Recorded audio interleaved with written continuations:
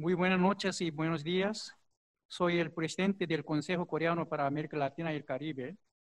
Estimados especialistas quienes estén, asisten a este webinar y señoras y señores quienes están participando en este webinar. Buenos, bienvenidos todos, todos. Les envío mi salud calurosa desde Seúl, Corea.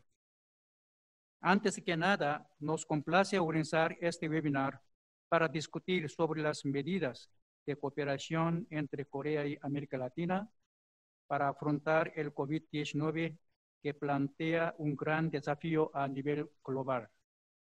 Corea es conocido como un país que logró prevenir la epidemia superando las dificultades iniciales después de que se confirmara el primer caso coreano del COVID-19 el pasado 10 de marzo. Corea lo alcanzó sin tomar las medidas estrictas, tales como el cierre de la frontera o el confinamiento estricto. Este logro se debe a varios, varias razones, de las cuales quisiera descartar las dos más relevantes. Primero, Corea alcanzó alta tasa de test per cápita con realización de la prueba masiva rápida, lo cual se debe a que el gobierno y sector privado cooperaron juntos y lograron desarrollar tempranamente los reactivos y los equipos de diagnóstico. Segundo, el gobierno recomendó firmemente el uso de mascarilla a sus ciudadanos para evitar que los contagiados infecten a los demás. Como saben ustedes, en general están disponibles dos técnicas de diagnóstico para el COVID-19, que son la técnica del diagnóstico molecular y la del inmunológico. La reacción en cadena de la polimerasa con transcriptasa inversa, ALT-PCR, en la eh, sigla inglés, que es la técnica de diagnóstico molecular, está entendido como la prueba que tiene alto nivel de exactitud y fue adoptada por el gobierno de la República de Corea. Asimismo, varias productoras coreanas de la prueba del diagnóstico molecular recibieron el visto bueno por parte de la Administración de Alimentos y Medicamentos de los Estados Unidos, FTA. A su vez, la técnica del diagnóstico inmunológico permite una prueba masiva y rápida en corto tiempo. Tengo entendido que varios países la adoptaron y también la Administración de Alimentos y Medicamentos de, los Estados Unidos, FDA, también lo aprobó. Por otro lado, las industrias sin contacto van a atraer cada vez más atención debido a la propagación del COVID-19. Pienso que, entre otros, es más crucial el suministro de mascarillas, uno de los productos clave para frenar la expansión de la epidemia. Actualmente están prohibidas en práctica las exportaciones coreanas a mascarillas, de mascarillas. Sin embargo, es posible la transferencia tecnológica coreana al extranjero. Este webinar, organizado por nuestro Consejo, tiene como objetivo debatir sobre las políticas de Corea para la prevención epidémica y los tres ámbitos mencionados, la técnica del diagnóstico molecular, la del diagnóstico inmunológico y la construcción de las instalaciones productivas de los bienes de la economía sin contacto como mascarilla. Para ello hemos invitado a un experto y tres empresarios. Ahora les presento a nuestros ponentes. Primero, al lado mío, está con nosotros el distinguido profesor Jason Kwak. Él está trabajando en la Escuela de Graduados de Estudios Internacionales de la Universidad Kyunghee. El profesor Kwak se ha dedicado a las investigaciones sobre la coyuntura política y económica de América Latina y recientemente también se está enfocando su trabajo, su estudio en cómo, cómo aplicar el modelo coreano para la prevención del COVID-19 en América Latina. En esta ocasión nos detallará cómo Corea se ha enfrentado exitosamente contra el COVID-19. Asimismo, están con nosotros tres empresarios. Primero, el distinguido doctor Sung Kim, el director ejecutivo CEO de Bico Biomed. El doctor Kim nos va a explicar cómo funciona la prueba de diagnóstico molecular. Segundo, el distinguido doctor James Chung, el director de tecnología CTO de Gembody Inc. El doctor Chung nos va a explicar la prueba del diagnóstico inmunológico. Por último, el distinguido señor Timothy Lee, el asesor de la tecnología científica de nuestro consejo y el director de Consorcio Tecnológico de Ciudad Inteligente. El señor Lee nos presentará la construcción de instalaciones productivas de los bienes de la economía sin contacto, tal como mascarilla. En este webinar nos están acompañando las personas, los amigos que tienen gran interés en América Latina. Los que tengan dudas pueden dejar mensajes durante la presentación. Una vez que terminen las presentaciones, voy a consultar sus dudas a los ponentes correspondientes.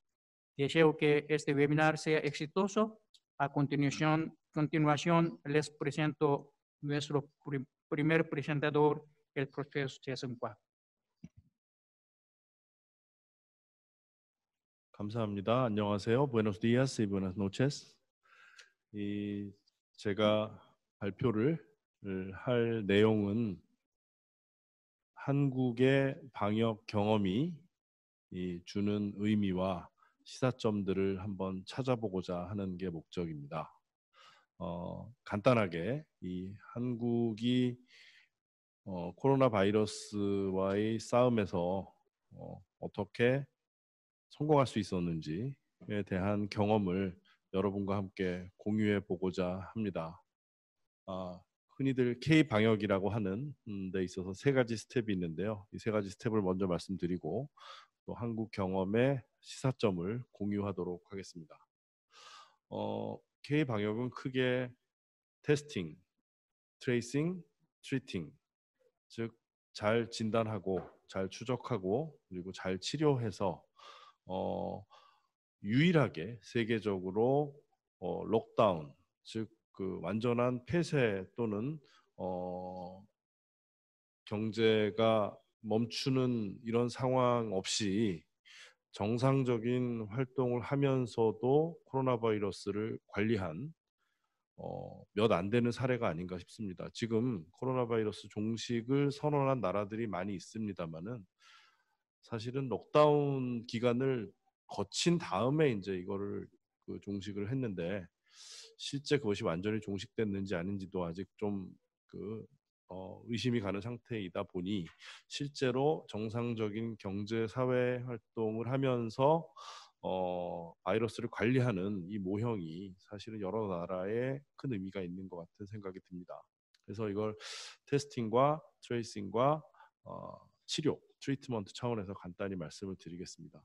어, 우선 testing 입장에서는 오늘 또 두 분의 그 기업에서 오신 발표자들이 자세히 말씀을 해주시겠지만 어, 일단 mass testing이 가능했다. 아, 그러니까 대규모의 어, 테스팅이 빠른 시간 내로 이제 가능하게 된 게 이제 한국의 경험이 아니었나 싶습니다. 이렇게 된 데에는 어, 정부가 이 바이러스가 발발한 시점에서 어, 매우 빠르게 에, R&D와 생산과 그리고 진단 키트에 대한 승인을 해준 게 매우 중요하다. 실제 올 1월쯤만 해도 바이러스가 이렇게 심각해지라고 아무도 예상을 못했습니다. 어, 그런데 우한에서 이게 점점 퍼지기 시작할 때쯤에 선제적으로 한국 정부가 어, 기업과 협력하는 가운데 이 진단에 대한 어, 여러 가지 대응을 미리 세워놨다는 것이고요. 그리고 기업들은 이제 빠르게 반응을 해서 진단 키트를 개발해서 어, 로컬에 있는 그 어, 검진 센터를 중심으로 이미 많이 확보를 하게 되었다는 겁니다. 그래서 오늘날 한국의 국가적인 진단 능력은 하루에 10만 어, 검체를 진단할 수 있는 이런 능력까지도 이제 갖추게 되었다. 이, 이 진단 능력을 한국이 다 사용해 본 적은 아직은 없습니다. 어, 이렇게 테스팅을 효율적으로 할 수 있었던 그런 배경은 제가 말씀드린 대로 민관의 협력이 매우 중요했고요. 그리고 무엇보다 중앙정부와 지방정부 간의 적절한 역할 분담과 파트너십도 중요했고, 그리고 어, 진단 키트의 개발과 활용에 있어서 의료진은 물론이고 대학 어, 그리고 실제로 일선에 있는 바이오 벤처 기업들이 적극적으로 협력이 가능했다. 이게 굉장히 중요한 시사점이 되겠습니다.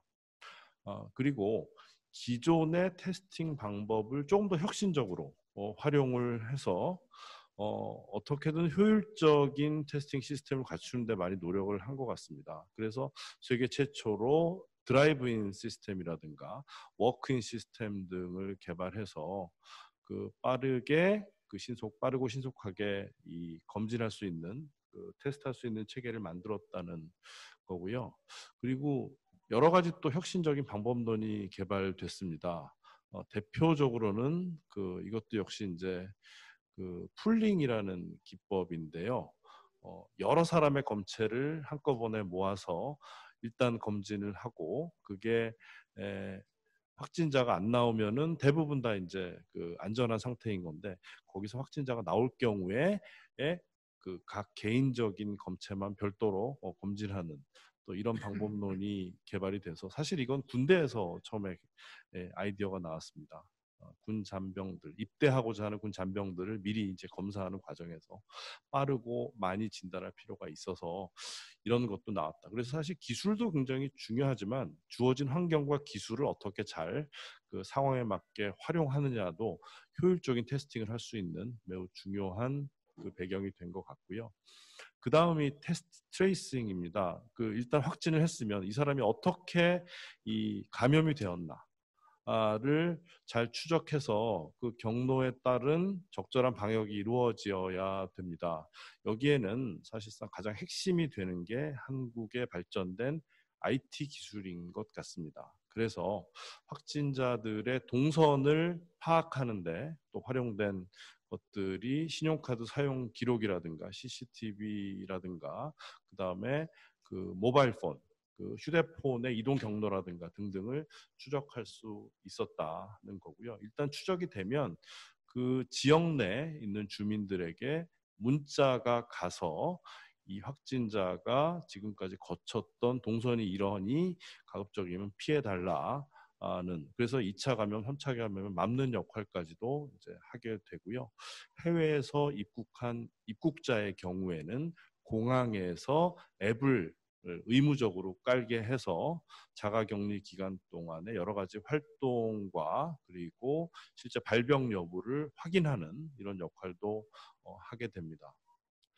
그러면 여러분은 이런 질문을 하시게 될 수도 있어요. 한국은 ICT 인프라가 잘 갖춰져 있고 어, 거의 스마트폰의 이용률이 100%에 가까운 나라이니 이미 이 여러 개도국의 상황과는 다른 거 아니냐.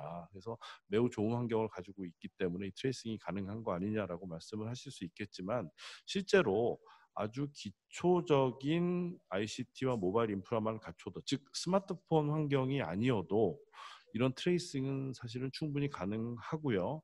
어, 기존의 2G 환경을 통해서도 SNS 메시징이라든가 다양한 방법을 통해서 ICT를 활용할 수 있는 방법은 굉장히 많다. 그래서 실제로 아프리카 같은 경우에는 그 투지 휴대폰으로 현금을 이체하고 결제할 수 있는 시스템도 개발이 되어 있습니다. 그래서 실제 낮은 기술이라도 이것을 어떻게 활용하느냐가 매우 중요하다는 게 또또 제가 드릴 수 있는 메시지인 것 같고요. 어, 여기에 또 굉장히 이슈가 제기됐던 게 프라이버시 이슈입니다. 사실은 이것은 서구 언론들, 즉 프랑스와 어, 영국을 중심으로 한 이런 언론들이 많이 제기하는 문제이기도 합니다. 그 발병된 환자의 동선을 그렇게 공개하는 게 그 사람의 프라이버시를 침해하는 행위 아니냐라는 문제 제기가 있었는데 처음에는 약간 사실은 문제가 되기도 했습니다. 왜냐하면 너무 자세하게 공개를 했거든요.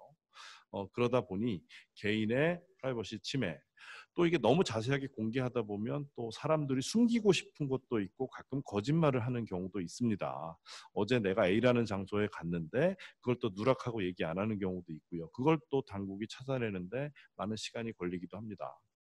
그래서 이런저런 이슈로 일단은 공공의 안전을 그 최우선으로 했기 때문에 개인의 프라이버시가 약간 침해되는 경우가 처음에 있었는데요.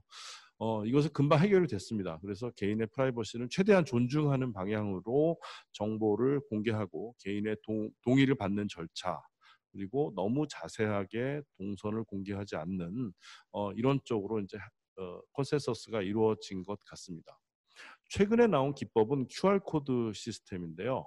병원이라든가 클럽 그리고 노래방, 기타 등등 그 밀집 지역에 들어갈 때는 어, 본인의 아이디를 담은 QR 코드를 스캔하게 이제 만들어서 자연스럽게 그 사람들의 정보를 어, 밀집된 사람들의 정보를 수집하는 이런 시스템인데요.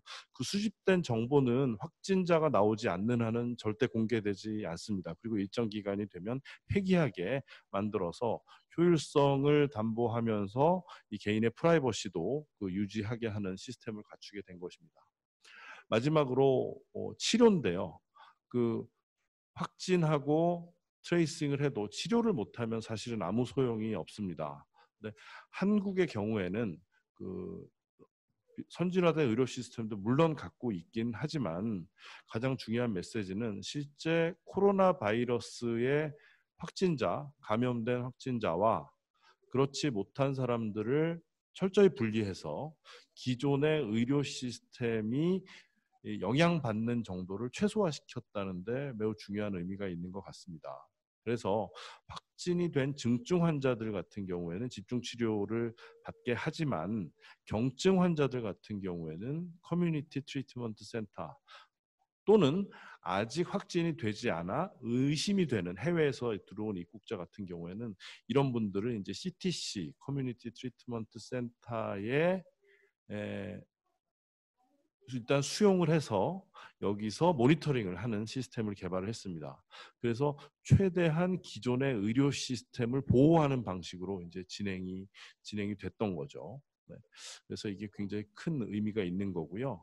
그리고 어, 의료보험 시스템에 입각해서 그리고 특별 감염 예방법에 입각해서 어, 코로나 바이러스를 테스팅을 받고 실제 이 치료를 받는 사람에 대한 비용은 아주 미비하고 최소하게 즉 거의 100%다 정부가 지원하는 식으로 어, 어, 진행이 됐습니다. 그래서 누구든 의심이 가거나 발병의 가능성이 있으면은 그 당국을 찾아가서 검진도 받고 치료도 받는 시스템을 갖추게 된 것이고요.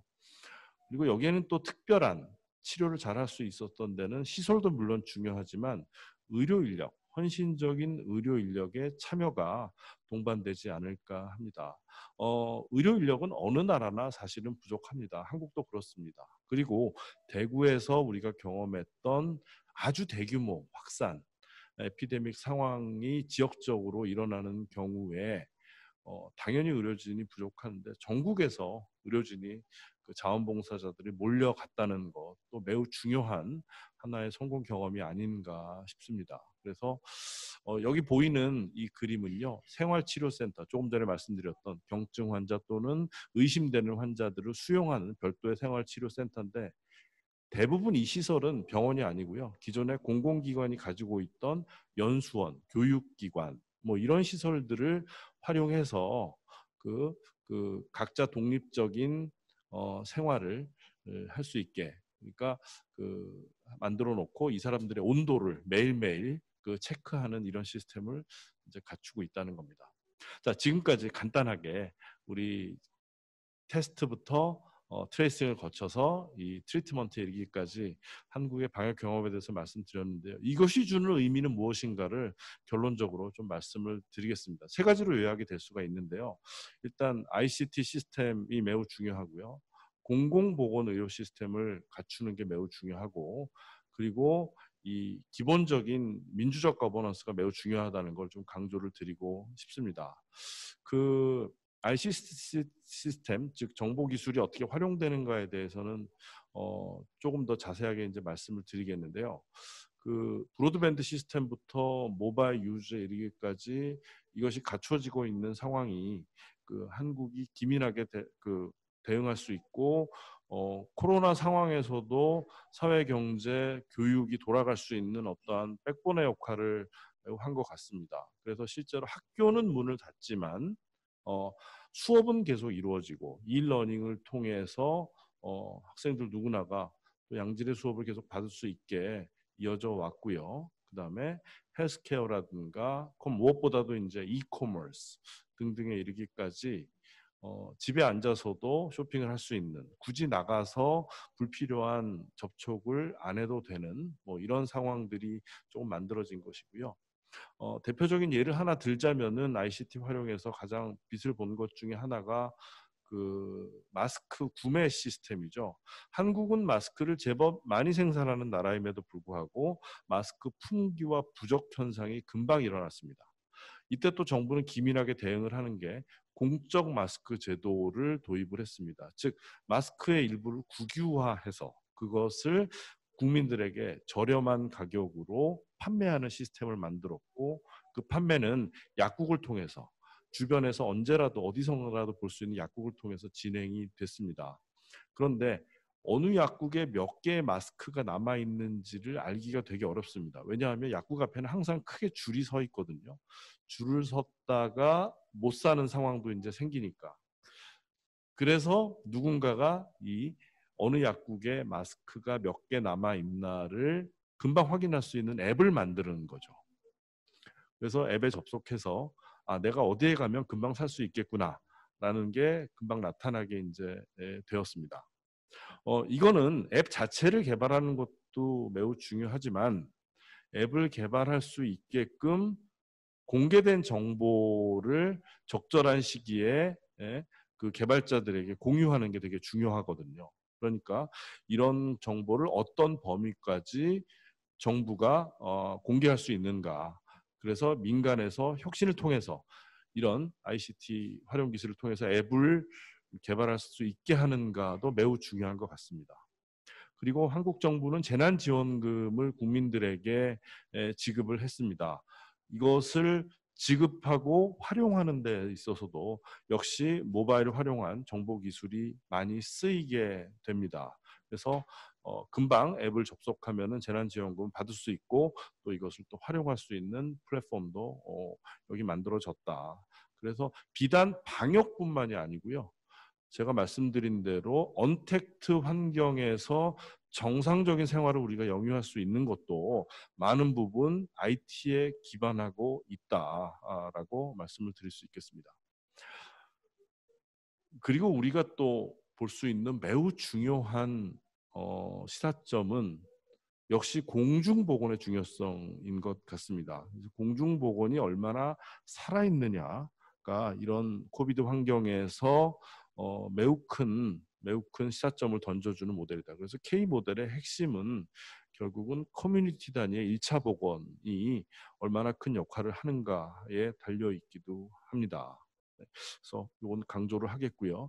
그 다음에 마지막으로는 이 모든 것을 가능하게 하는 것은 결국은 민주적 governance의 환경이 아니겠는가라고 생각이 됩니다. 언론 자유는 물론이고요. 그 깨어있는 시민의 힘이라든가 그리고 빠른 정부의 대응이라든가 이것을 뭐 영어로 얘기하면 agile response라고 하는데 그 어떤 상황이 생기면 머뭇거릴 수가 없습니다. 금방 바이러스는 퍼지고 또 대응을 안 해주면은 이 저소득층에 미치는 영향은 더 심각해지기 때문에 적재적소에 맞는 그 결정 메커니즘 그리고 정부가 어 적절한 방식으로 보건과 복지 그리고 경제 영역에서 대응할 수 있는 어, 시스템이 갖춰져야 된다는 거고요. 이거는 중앙 정부뿐이 아니라 지방 정부 레벨에서도 매우 중요한 어, 역할을 했다고도 볼 수가 있습니다. 그래서 여기 밑에 보시면 한국 정부의 방역 거버넌스 와 그리고 이 중앙 정부 레벨에서 그렇고요. 그다음에 지방 정부 레벨에서 어, 어떻게 이것이 협력하는 구조를 갖고 있나 가 나와 있습니다. 그래서 횡적으로 종적으로 횡적이라는 것은 청와대부터 각 그 부처 단위에 이르기까지 그리고 지방 정부에 이르기까지를 말하는 거고요. 종적이라는 것은 역시 아까 말씀드린 청와대에서부터 이 각 단 단위 그 부서에 이르기까지를 말하는 겁니다. 그래서 빠르고 효율적인 정부의 대응 시스템이 갖춰져 있고 이렇게 움직이게 할 수 있는 것은 결국은 어, 한국이 갖추게 되는 민주적 거버넌스 시스템이 아니겠는가라고 생각이 됩니다.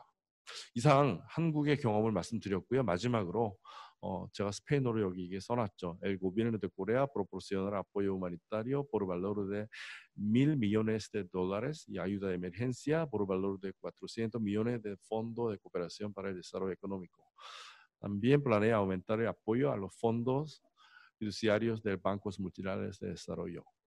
어, de los uh, 2 millones dólares a 10 millones.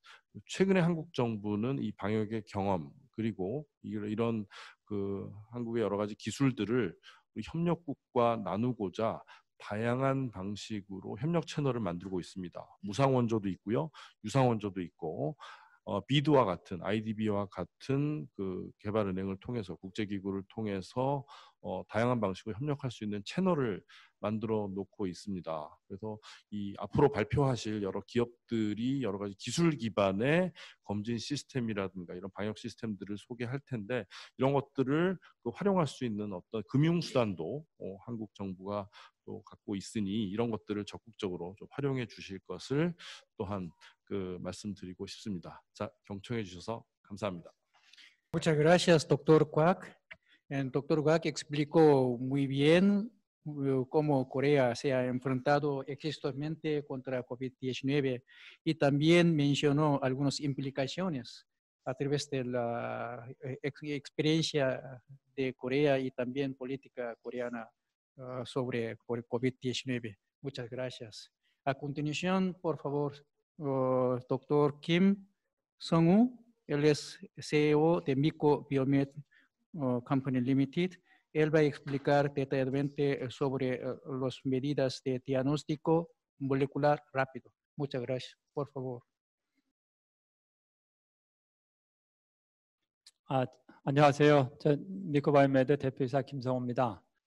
그 제가 오늘 말씀 말씀드릴 내용은 좀 기술적인 것이 많은데 제가 간단하게 그냥 설명드리고 두 가지 크게 포인트로 한다면은 어, 첫째는 이제 미코바이메드가 가지고 있는 분자 진단 기술이 어, 어떤 차별성이 있는가. 그래서 이거 하고 두 번째로는 그러면은 미코바이메드라는 회사에서 이제 안정되게 그 필요한 양 필요한 양을 저희들이 만들어서 잘 공급할 수 있는가. 이제 그러한 회사의 규모와 또 그런 시스템을 갖추고 있는가 한 두 가지 정도의 이제 focusing 두고 말씀드리겠습니다. 이제 저희 회사는 이제 그, 그 여기 이제 그림이 잘 보일지 모르겠는데 POCT라는 게 뭐냐면 현장 진단이라는 것입니다. 영어로 하면 point of care test란 말이고 저희들이 분자 진단을 이거 현장에서 쓸 수 있는 거는 굉장히 드뭅니다. 근데 저희들이 이제 그 거기에 이제 가장 필요한 거는 굉장히 굉장히 빠른 속도로 해야 되고 두 번째로는 아 이제 사이즈가 작아야 됩니다. 그래서 그런 기술을 가능하게 한 것이 우리가 lab chip으로 표현했는데 이것이 lab on a chip. 저 조그마한 플라스틱 칩 안에서 그 실험실에서 할 수 있는 일들을 하도록 한다. 이런 것이 이제 랩 언어 칩 기술입니다. 그래서 이 기술을 저희들이 잘 어, 적절히 응용을 해가지고 어 이제 PCR이라고 하는 분자 진단을 이렇게 빠르게 할 수 있게끔 만들었습니다. 저희 회사가 이제 하고 있는 것은 아 이제 보통 그 분자 진단한다 그러면 유전자 진단 혹은 분자 진단이라고 그러는데 이제 많은 샘플들을 이제 한 곳에 모아서 그 이제 실험을 하게 됩니다. 이렇게 하면은 시간이 걸리고 굉장히 정확하긴 하지만 시간이 오래 걸리고 가격도 비싸게 들리고 또 샘플을 움직이는 샘플을 운송하는 동안에 샘플이 좀 이상이 생길 수가 있습니다. 즉 오진이 생길 수도 있습니다. 또 비용이 발생해서 너무 비쌉니다. 등등 이런 여러 가지 이유가 있는데 이것을 가능하면 현장에서 현장에서 사용할 수 있게끔 개발했으면 좋겠다. 그 저희 회사는 그거를 지난 10년 동안 이제 집중적으로 해왔고 저희 회사는 미코바이오메드는 이 미코 그룹에 이제 미코 그룹은 한 1,500명 정도 되는 이제 회사인데 이제 주로 이제 반도체 중심으로 돼 있고 미코바이오메드에서는 지금 한 140명 정도가 일하고 있습니다. 여기는 이제 아, 분자 진단, 면역 진단, 생화학 진단 해가지고 이세 가지를 다 하고 있고 그 중에 제 회사는 우리가 지사가 미국에 하나 있고 또 브라질에 있고 어, 인도에 있습니다. 저희가 집중하는 이제 그 어, 분야는 이제 크게 보면은 생화학 진단, 면역 진단, 분자 진단 음, 진단인데 제가 오늘은 이 분자 진단에 대해서만 아, 집중적으로 말씀드리겠습니다.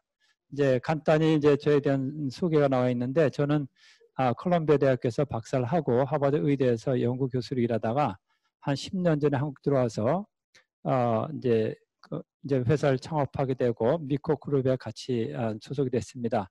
주로 저희들이 그 한 일들 중에는 유엔이나 이제 WHO 같은 이런 것과 많이 일을 했고 또 기술적으로는 우리가 특허를 한 140개 이상 가지고 있어서 안정된 기술을 가지고 있습니다.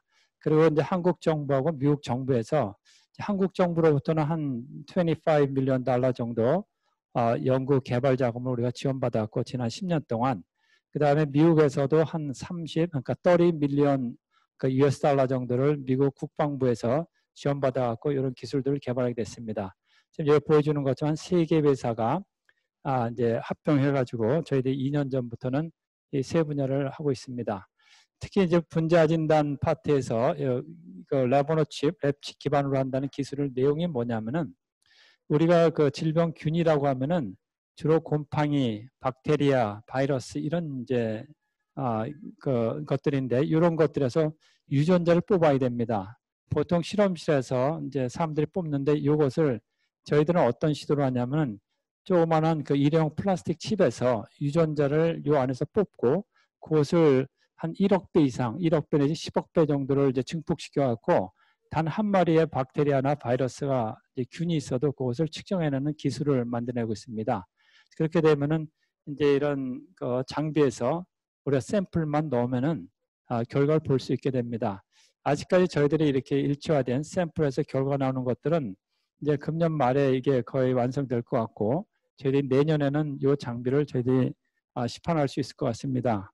그러나 여기에 대한 기반 기술들은 저희들이 거의 다 갖추고 있고 어, 현재 이 중에서 상품화 시킨 것은 이제 그 중에 아, 한 파트 이렇게 소개한다 그러면은 그 기존에 있던 그 이제 유전자 증폭하는 기술들은 이런 튜브에다가 유전자를 뽑아서 집어넣고 또 이것을 어떤 시약이라고 하는 키트를 넣어서 그 장비에다 넣으면은 그러면은 보통 한 두시간 안팎 정도 이렇게 걸립니다. 근데 저희들은 이렇게 하질 않고 어, 이런 플라스틱에다가 아주 그 실핏줄 같은 그 채널들을 만들어 가지고 거기서 반응이 일어나게끔 했습니다. 이것을 이 장비에 넣으면은 빠르게 유전자를 증폭할 수 있습니다. 여기 기술적인 차이를 본다 그러면은 이 두개 제품은 전 세계에서 거의 표준화된 장비인데 미국에서 만들어졌습니다. 대략 한 30kg 이상의 그 무거운 장비인데 저희들은 한 5kg도 안 되는 작은 것으로 만들었고 또 이 장비가 운영되려고 그러면은 그 컴퓨터로 운영됩니다. 저희들은 이런 터치 스크린을 가지고 바로 현재 쓸 수 있게끔 해놨고 또 시간적으로 봐도 이제 한 2시간 안팎 걸리는 걸 저희들은 한 30분 안팎으로 이렇게 빠르게 만들었습니다. 그, 그것뿐만 아니라 이것을 현장 가서 쓸 수 있게끔 배터리를 이제 카에 이제 자동차에 있는 카 배터리를 이제 접속해 쓸 수 있게끔 하고 또 여기 나오는 데이터들을 무선으로 보낼 수 있게끔 저희들이 그 이제 스마트폰을 통해서 자료를 보낼 수 있게끔 이렇게 했습니다. 그러면서도 가격은 얘들보다도 그 미국 거보다도 저희들이 거의 한 3분의 1 정도 가격으로 어, 이렇게 싸게 만들어 가지고 이제 팔고 있습니다. 이, 이러한 장비들이나 칩은 우리가 이제 프린터라고 생각한다면은 그 프린터에는 그 칼라 잉크가 필요하지 않습니까? 이제 칼라 잉크에 해당하는 것이 요 진단 키트입니다. 저희들이 여기 트로피컬 피버라고 했는데 주로 이 열대 지방에 그서 나타나는 그 고위험성 병원체들 박테리아나 바이러스들을 한 35종을 우리가 개발해서 이제 팔고 있습니다. 그래서 이것은 아, 한국의 질병관리본부 거기서 저희 특별히 의뢰를 받아갖고 개발해서 정부에도 공급하고 전 세계에도 우리가 공급하고 있습니다. 그리고 이제 그 열대 지방에는 또 이 식중독균들이 이제 많이 나타나는데 한 28종 정도를 한국 식약처에서 같이 공동 개발해 갖고 지금 한국에는 한 4, 50군데 정도의 식품회사에다 우리가 그 공급하고 있습니다. 이것뿐만 아니라 어, 또 간염이라든지 또 혹은 결핵이라든지 또이 돼지열병과 같은 이제 이런 중요한 질병들도 저희들이 개발해서 공급하고 있습니다. 이제 여기에 있는 것의 중요성은 뭐냐면 이 여러 가지 있는 것을 조그마한 플라스틱 칩에서 하나 한 개씩 측정하는 것이 아니고 여기는 한 번에 저희들이 14개까지 측정을 할 수가 있습니다. 그래서 14개를 14종류를 여기서 뽑아 가지고 넣으면 되고 그 다음에 positive control, negative control 해갖고서 동시에 14개의 질병을 측정하든지 아니면 16명의 그 환자 샘플 여기다 넣어서 16명의 아, 환자 아, 질병을 측정하든지 하면 됩니다. 이렇게 하는 것은 저희들이 미국 US CDC하고 이걸 개발해서 이제 저희들이 사업화시키고 있습니다. 이제 이것은 한 예는 그 우리가 코로나 바이러스 같은 경우는 아, 특히 RNA 바이러스라고 해갖고 이런 RNA라는 물질을 뽑아내야 됩니다. 그래서 이제 상기도라든지 어퍼 트랙이나 혹은 하기도에서 이제 샘플을 뽑아내면 거기서 유전자를 뽑아내고 그 뽑아낸 것을 저희들이 어, 테스트하게 되면 이런 어떤 그래프식으로 해갖고서 나타나고 있습니다. 여기에 그 우리가 보통 한 여기는 10 카피 정도 나왔는데 박테 저 바이러스가 지금 저희들 성능으로는 한 다섯 마리 내지 열 마리 정도가 있으면은 그걸 측정해낼 수가 있습니다.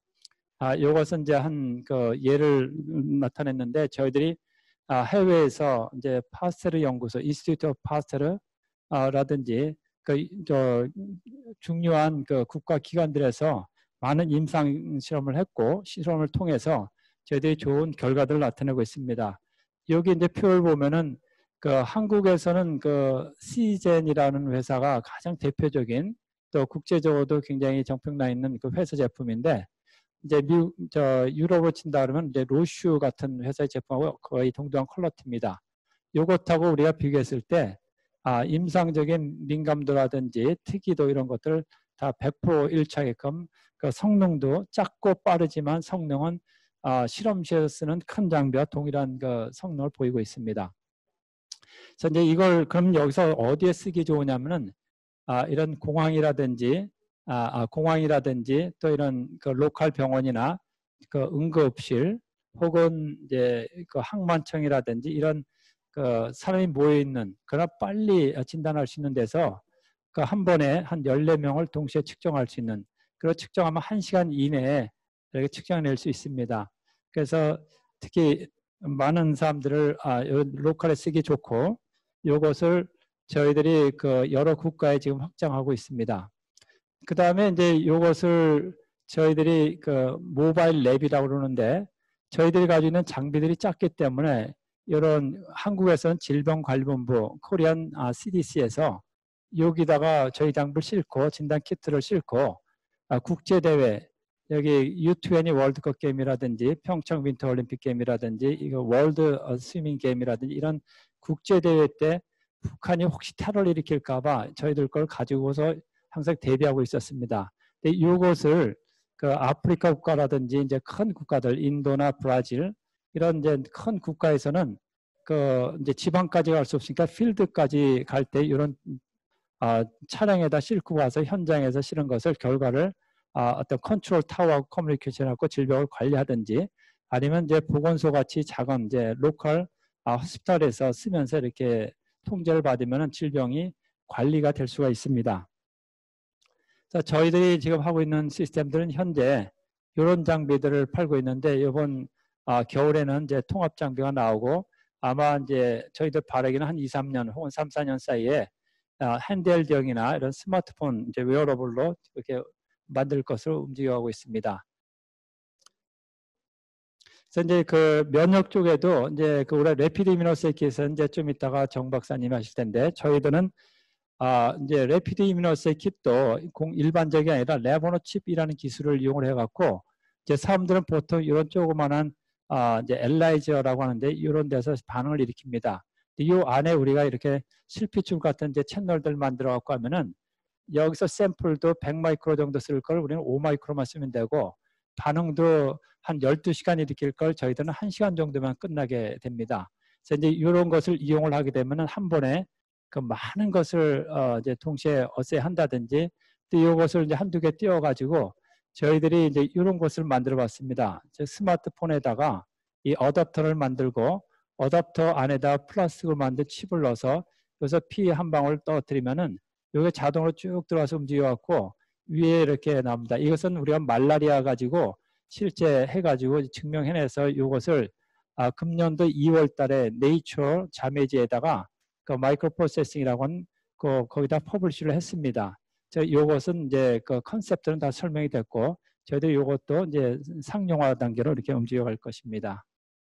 아, 간단히 저희 회사 설명드렸는데 저희들이 하고 싶은 것은 결국 이런 이제 터미널 간단한 터미널 만들어 가지고 아, UL square 시스템에 적용하게 하는데 이런 이제 가정이라든지 군대라든지 혹은 동물 농장이라든지 어, 어느 곳에든지 이건 이제 살아있는 그 생명체에 대해서 혹은 질병에 대해서 할 수 있는 것입니다.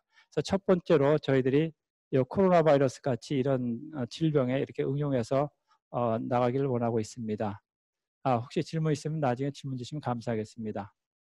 Eh, Muchas gracias, doctor Kim.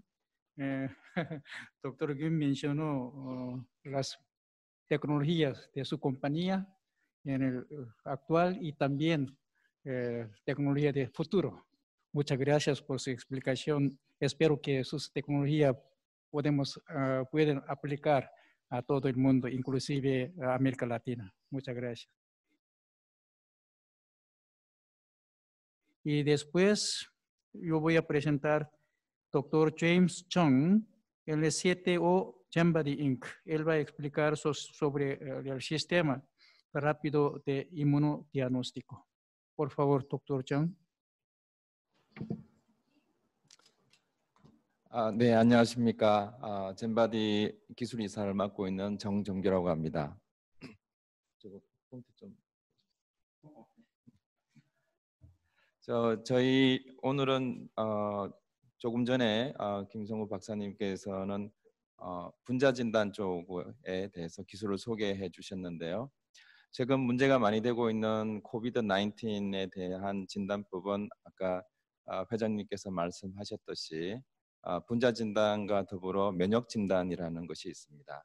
아, 저희 젠바디라는 회사는 어, 어, 신속한 그 면역 진단 전문 회사입니다. 예. 그래서 그래서 저희 회사에 대해서 잠깐 소개를 해드리고 그다음 면역 진단법들에 대해서 어, 저희 회사가 가지고 있는 제품들과 기술들에 대해서 어, 간단히 소개를 해드리고자 합니다. 어, 저희 회사는 2012년도 어, 제가 창업을 했습니다. 제가 어, 설립을 했고 어, 현재는 기술 이사로 있습니다. 어, 주로 어, 전염병에 관련된 전염병에 관련된 그 핵심 원료 물질 항원이나 항체를 만드는 어, 사업에서 시작을 해서 현재는 어, 완제품과 어, 기계까지 만들고 있는 어, 그런 회사로 보시면 되겠습니다. 아, 주요 하- 저희 회사는 주로 전염병에 많은 어, activity를 나타내고 있는데요. 어, 뭐 대표적인 게 어, 지카라든지 어, 댕기라든지 어, 치쿤구냐와 같은 그런 어, 전염병들입니다. 어, 2015년에는 지카 바이러스를 진단할 수 있는 어, 신속 진단 키트를 최초로 개발- 개발을 해서 어, 2016년, 17년, 18년 요 3년 동안 아, 브라질 연방 정부에 한 700만 테스트 이상 어, 저희가 공급한 전력이 있고 그 이후에도 어, 브라질 정부에 어, 지카나 댕기, 치kun구냐와 그리고 확열과 같은 이런 제품들을 공급을 해 왔습니다. 어, 최근 들어서 이제 2019년 말 또 2020년 올해 초에 아, 코로나 코비드 19가 이제 생기면서 어, 발생을 하면서 저희가 코로나 19에 대한 제품들을 아, 면역 제품들을 개발을 해 왔는데 그 대표적인 것이 아, COVID 19 IgM, IgG와 같은 항체를 검사하는 것과 COVID 19 antigen과 같은 항원을 검사하는 이 두 면역 제품 총 세 제품인데 어, 이 제품들을 저희가 최근에 개발을 해서 어, 시장에 출시를 하고 있습니다. 어, 제 젠바디라는 회사는 뭐 지카라든지 뭐 뎅기 이런 부분에 있어서 국제적으로는 신속 진단 키트 면에 있어서 어, 많은 언론이라든지 뭐 기사에 나 있는 그런 유명한 회사이고요. 코비드 19에 대해서도 뭐 여기 로이터 통신이라든지 뭐 한국에 있는 언론들 그리고 일본에 있는 언론들 뭐에서도 저희 회사에 대한 제품과 회사에 대한 대해서 주목을 하고 있습니다. 그리고 저희가 아, 뭐 여기는 뉴욕인데요. 아, 뉴욕의 뭐 한인회라든지 뭐 자카르타의 한인회 이런 곳에 어, 코로나 진단 키트를 저희가 기부를 하고 있습니다. 저희 회사는 서울에서 1시간 정도 떨어진 천안이라는 곳에 있고요. 아, 공장이 이렇게 두 개가 있습니다. 공장 회사가 두 개가 있고 이 두 공장에서 어, 일주일에 어, 코로나 항체 키트가 100만 테스트, 1 million, 그다음에 코로나 항원 키트가 half million, 50만 테스트씩을 생산을 매주 하고 있고 전량 다 어, 수출을 하고 있습니다. 아, 이렇게 해서 간단히 저희 회사 소개에 대해서 마치고요. 이제 면역 진단에 대해서 어, 간단히 소개를 더 드리도록 하겠습니다. 이 면역 진단은 어, 1960년도 초에 어, 일본에서 혈구 응집법 (hem agglutination이라는) 방법이 먼저 개발이 되어서 이 방법이 현재도 사용이 되고 있습니다. 그리고 80년 초에는 어, 플라스틱이나 유리에 이제 단백질이 다, 어, 코팅이 되는 것을 알고는 엘라이자법이 미국에서 개발되어 있고 현재까지 널리 사용이 되고 있습니다. 그리고 1990년대 말에는 랩 신속 진단 키트 RDT라는 것이 미국에서 개발되어서 어, 저희 지금 많이 상용화되어 있고 저희 회사도 이 신속 진단 키트를 생산을 하고 있는 회사입니다. 그리고 향후에는 어, 어떤 어, 진단 면역 진단법이 더 대세가 될지 모르지만 형광을 이용한 신속 진단 키트가 대세가 되지 않겠느냐라고 조심스럽게 어, 예측을 해봅니다. 어, 이것이 어, 코비드 19에 대한 면역 적, 어, 분자 적정에 대한 부분인데요. 예를 들어서 어, 요날 어, 제로라고 써있는 이날 발병 증상이 나타났으면 심프텀이 있으면 거전 한 3, 4일 전에 감염이 되었을 것이고 증상이 나타난 날로부터 한 5일 또는 6일까지는 바이러스가 많이 어, 크고 있는 비레미아가 나타나게 됩니다. 이때는 분자 진단이라든지 항원 진단이 유용하게 쓰이고 있는데 뭐 아까 앞에 연자가 말씀하셨듯이 분자 진단의 정확도가 이 항원 진단의 정확도보다는 훨씬 높습니다. 그렇지만은 어, 우리 몸에서 이런 IgM이나 IgG와 같은 항체가 생성이 되게 되면 이 목이라든지 코에 존재하는 바이러스의 숫자가 급격히 감소를 하게 되는데 그 시점이 5.5일입니다. 논문에 의하면. 그래서 5.5일 이후부터는 항체의 진단 정확도가 어, 분자 진단의 정확도보다 올라간다라고 논문에는 되어 있습니다. 그래서 초기에는 분자 진단이나 항원 진단이 비레미아가 있을 때는 정확하고 어, 면역의 항체들이 생기고 생성에 대한 이후 즉 6일에서 뭐 일주일 이후에는 어, 항체 진단의 정확도가 어, 좀더 더 좋아지고 있습니다. 그래서 어, 저희 회사에서는 어, 첫 번째 만든 것이 항체 진단 키트입니다. 이 항체 항체 진단을 위해서는 요 테스트 검사선에 테스트 라인에 어, COVID 19에 대한 재조합 단백질을 여기에 코팅을 하고 그다음에 금 입자에다가 colloidal gold에다가 anti human IgG나 anti human IgM을 어, conjugation을 해서 이렇게 볼 수 있는 이런 strip을 만들어서 사용이 되게 간단합니다. 이렇게 사람의 혈액을 모세혈을 뭐 손가락에 있는 모세혈이든 아니면은 정맥에서 얻은 정맥혈이든 여기에 어, 혈청이나 혈장인 경우에는 10 마이크로리터 그다음에 어, 전혈인 경우에는 어, 20 마이크리트를 여기에 넣습니다.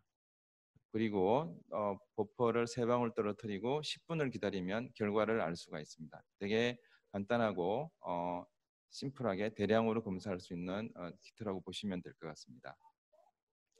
그래서 저희가 만든 그 키트를 가지고 어, 어, 이게 혈청학적으로 세럼 컨버전 되는 어, 사람을 대상으로 스타디를 해봤습니다. 어, 이분은 병원에 시- 정상을 느껴서 병원에 입원한 지 8일 되신 분인데 주기적으로 저희가 피를 빼서 19일까지 피를 빼서 어, 저희 키트를 가지고 검사를 해봤는데 여기 파란색이 IgM이고 빨간색이 IgG라는 항체입니다. 항체의 종류가 지금 두 가지입니다. 그래서 IgM이라는 항체는 이렇게 어, 증가했다가 다시 내려오는 것을 19일째 내려오는 걸 볼 수 있었고 IgG는 어, 거의 뭐 일정하게 여기 조금 내려가는 건 되게 실험적인 에라일 수도 있을 것 같습니다. 그렇게 일정 수준을 유- 계속 유지하는 것을 저희가 확인했습니다. 그래서 저 어, 저희 이 진, 아, 그런 게 그런 케이스가 하나 있고 또 한 분의 그 총 30명을 어, 저희는 이런 실험을 했는데요. 혈청 아, 시로 컨버전널 스타디를 했는데 대표적으로 두 분만 어, 두 케이스만 저희가 보내드리는 겁니다. 또 다른 한 케이스는 IgG가 이렇게 지속적으로 증가를 처음부터 하고 IgM도 지속적으로 증가를 하는데 이 기간이 상당히 10일부터 18일이니까 상당히 긴 시간 동안 IgM도 존재를 증가를 하고 IgG도 증가하고 있, 는 것을 볼 수 있었습니다. 그래서 어, 전체적으로 저희가 봤을 때 저희 진단 키트가 이런 sero seroconversion이 되는 COVID 19에 감염이 된 이후 seroconversion이 되는 부분을 잘 보여주고 있다라고 이제 어, 판단할 수 있습니다. 그래서 아까 말씀드린 것처럼 총 30명의 환자를 대상으로 주기적으로 피를 어, 채혈을 해서 어, study를 한 결과입니다. 어, 이쪽은 logarithm을 취해준 거고요. 어, 여기 여기 줄이 거여진 것이 컷오프 레벨입니다. 저희 기계로 읽었을 때 컷오프 레벨인데 요 위쪽은 다 양성이고 아래쪽은 음성인데 어, 빨간색은 아, 파란색은 어, IgM이고 빨간색은 IgG입니다. 둘 중에 한 명만 아, 둘 중에 하나만 양성이 나와도 양성으로 저희는 판정을 합니다. 그렇게 해서 결과를 봤을 때 1일에서 6일까지는 현저히 진단율이 떨어집니다. 즉 39.5%, 한 40% 미만의 정확도를 갖고 있고 그렇지만 7일 이후를 보면 80%가 넘고 그다음에 12일 이후를 보면 90%가 넘게 정확도를 보여주고 있습니다.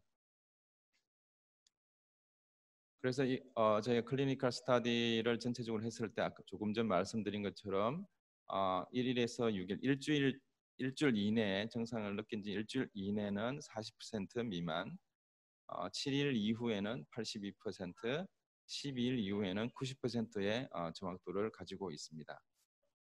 특이도는 저희가 120명을 대상으로 해봤을 때 117명이 정확하게 나오고 3명이 폴스 포지티브가 나와서 특이도가 97.5% 정도였습니다.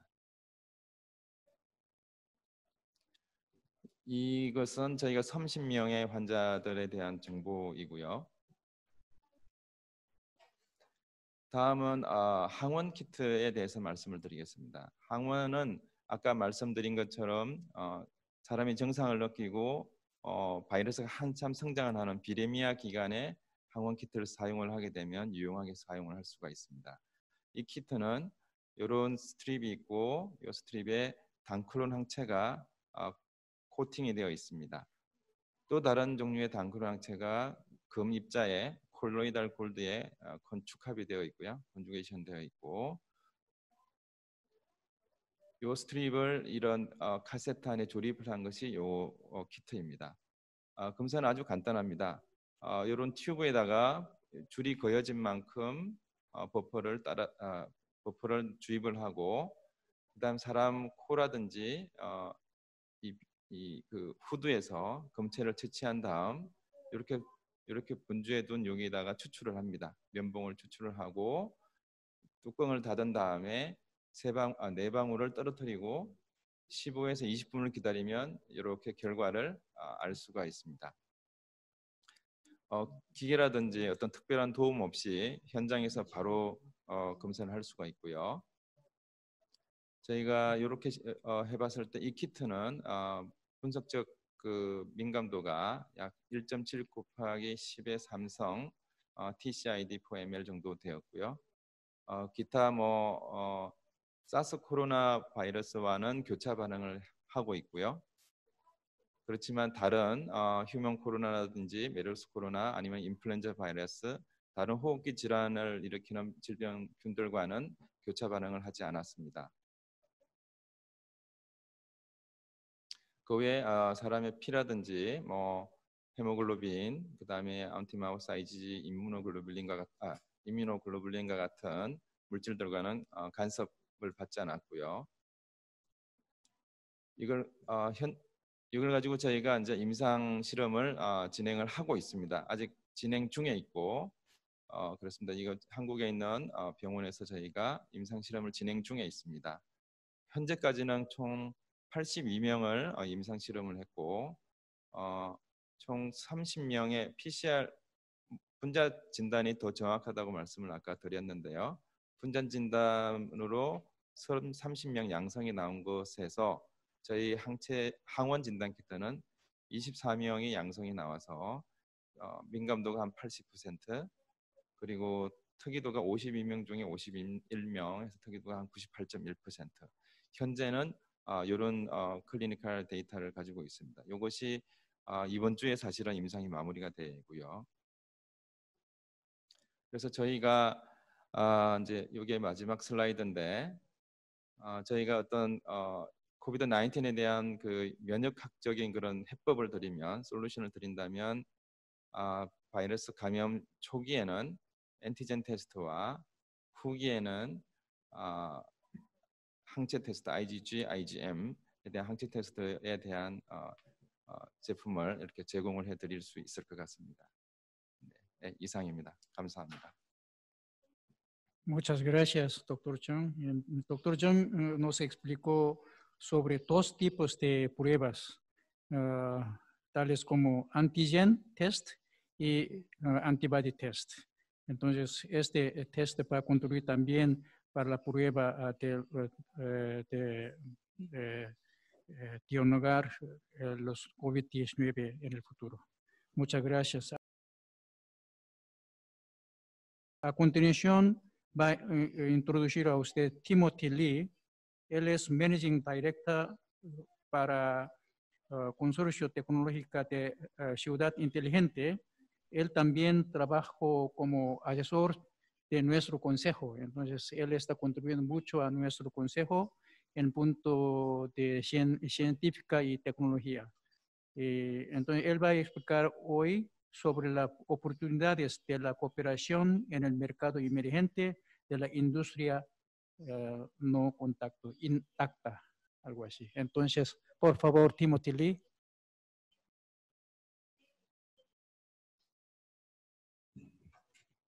네, 반갑습니다. 음,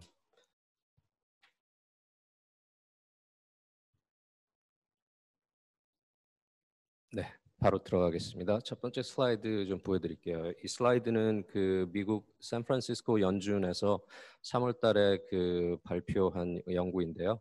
그 경제의 회복과 그 다음에 그 팬데믹의 관계에 대해서 이제 연구 결과를 내놨는데 어, 어, 지금 이제 그 보시다시피 전염병과 그 경제 회복과의 그 관계는 굉장히 밀접하고요.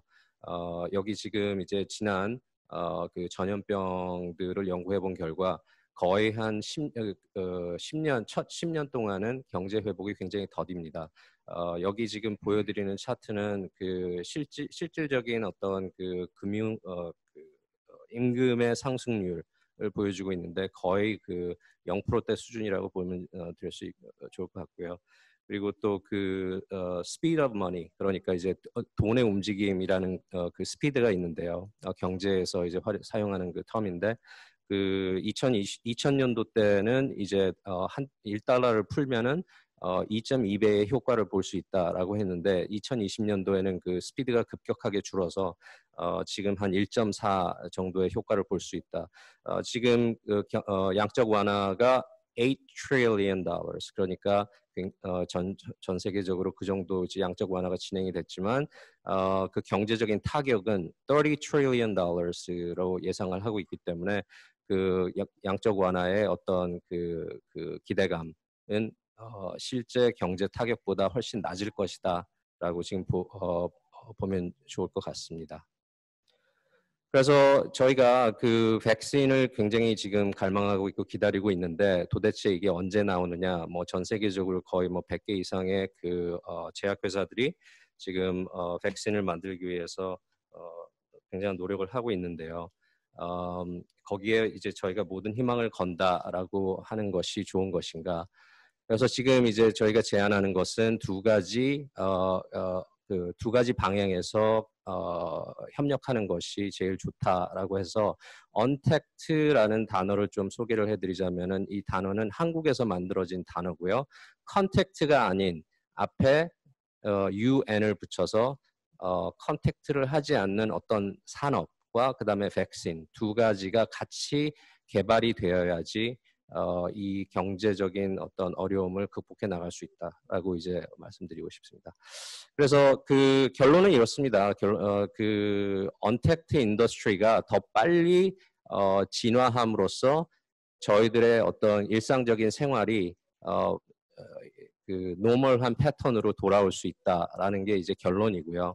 그리고 지금 여기서 그 non-aggression principle 그러니까 비공격적 원리라고 하는 그런 원리가 있는데요. 마스크를 이제 착용하는 것이 어, 좋냐 나쁘냐 여러 사람들이 많은 의견을 가지고 계신 것 같지만 결론적으로 마스크는 내 자신을 보호하는 것도 있지만 남을 보호하는 것이고 그리고 또 이제 뭐 그 증가 과정을 증가 과정이라는 게 있는데 어, 내, 내가 어, 다른 사람을 인펙트 하면은 그 사람이 또 다른 사람을 또 인, 어, 감염시킬 수 있다라는 어, 그런 것이 있기 때문에 어, 지금 그 어, 마스크를 쓰는 것이 아무래도 좋지 않나.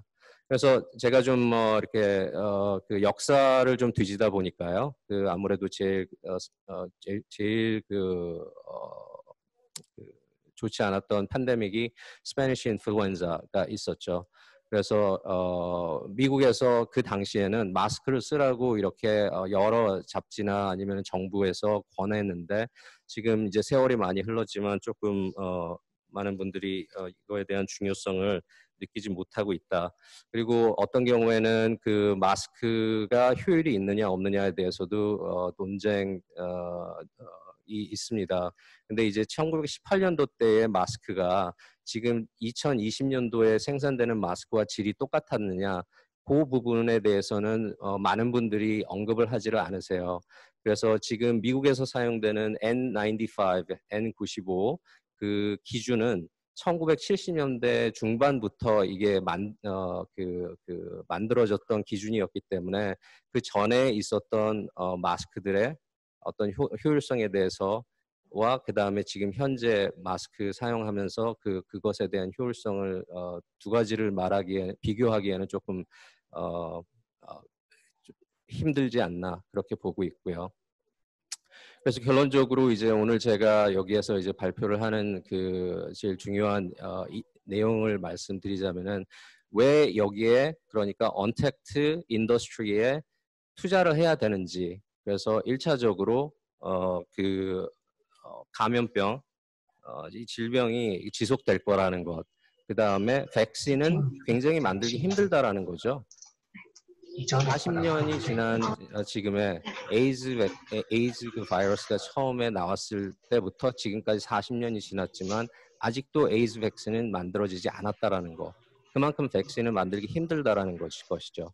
어, 단지 지금 저- 굉장히 좀 희망적인 것은 어, 2020년도 이때에는 ICT 솔루션이 굉장히 많이 있기 때문에 온라인 서비스를 제공할 수 있다라는 거. 그러니까 어, 어, 대면 하, 대면으로 해서 진행되었던 많은 서비스들이 온라인으로 진행될 수 있다라는 거.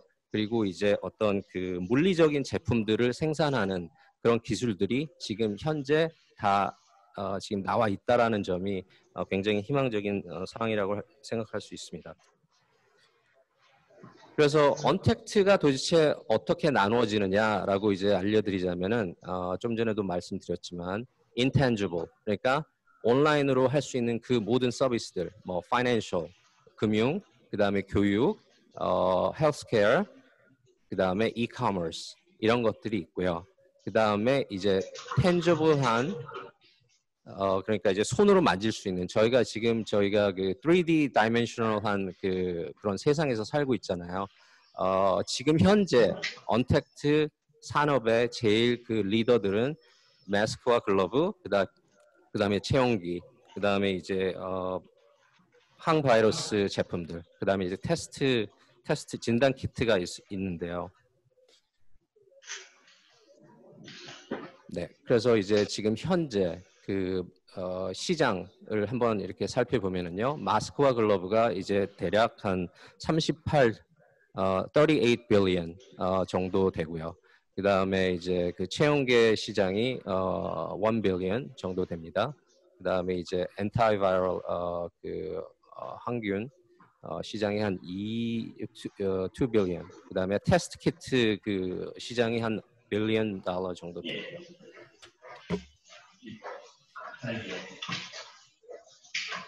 음, 넘어가질 않네요. 네. 그래서 이제 마스크가 아무래도 제일 큰 비중을 차지하고 있기 때문에 조금 어, 마스크를 예를 들어서 말씀드리도록 하겠습니다. 어, 이제 2020년도 초에 어, 코로나 바이러스가 이제 어, 중국에서 발생하고 그 다음에 이제 이게 퍼지기 시작하면서 전 세계적으로 굉장히 그, 그 많은 혼동과 그 다음에 이제 패닉 상태 빠졌었죠.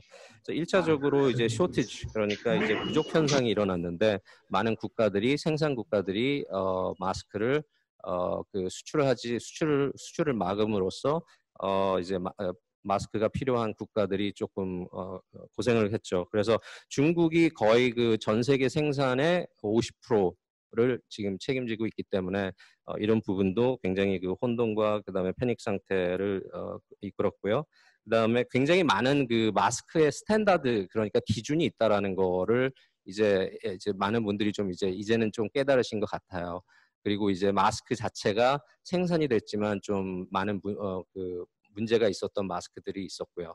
이게 지금 그 전 세계에 있는 거의 그 마스크 쪽의 그 standard 기준을 말씀드리는데 미국의 기준이 하나 있고요. 그 다음에 유럽 기준이 FFP2라는 기준이 있고 그 다음에 이제 중국 기준이 있고 어, 당연히 한국에도 기준이 있고요. 그 다음에 이제 어, 호주와 뉴질랜드 기준과 그 다음에 일본 기준이 있습니다.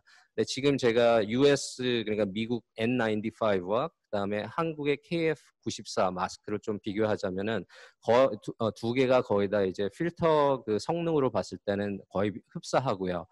단지 한국 마스크가 조금 더 어떻게 보면은 좋을 수도 있다라고 생각하는 것이 지금 CO2 clearance 그러니까 이산화탄소 그 배출에 대해서 탄산가스 배, 어, 제거에 관련된 테스트를 요구를 합니다. 한국 마스크는 그래서 어, 숨을 내, 내, 내뿜을 때 저희가 이제 그 어, 탄산가스를 내뿜잖아요. 이제 이런 것들이 얼만큼 마스크에서 잘 어, 배출이 되느냐, 제거가 되느냐 어, 이런 것을 어, 한국 그 마스크는 어, 테스트를 합니다. 어, 중국 마스크에 대해서 조금 더 한번 짚고 가자면은 이제 월스트리트 저널 리포트가 5월 20일 날 나왔는데요. 어, 중국에서 어, 지금 생산하는 마스크들이 N95 미국 어, 기준의 N95와 그 다음에 중국 기준의 KN95가 나오고 있고요. 생산하고 FFP 어, 유럽 standard 어, 기준의 그 마스크가 이렇게 생산이 됩니다.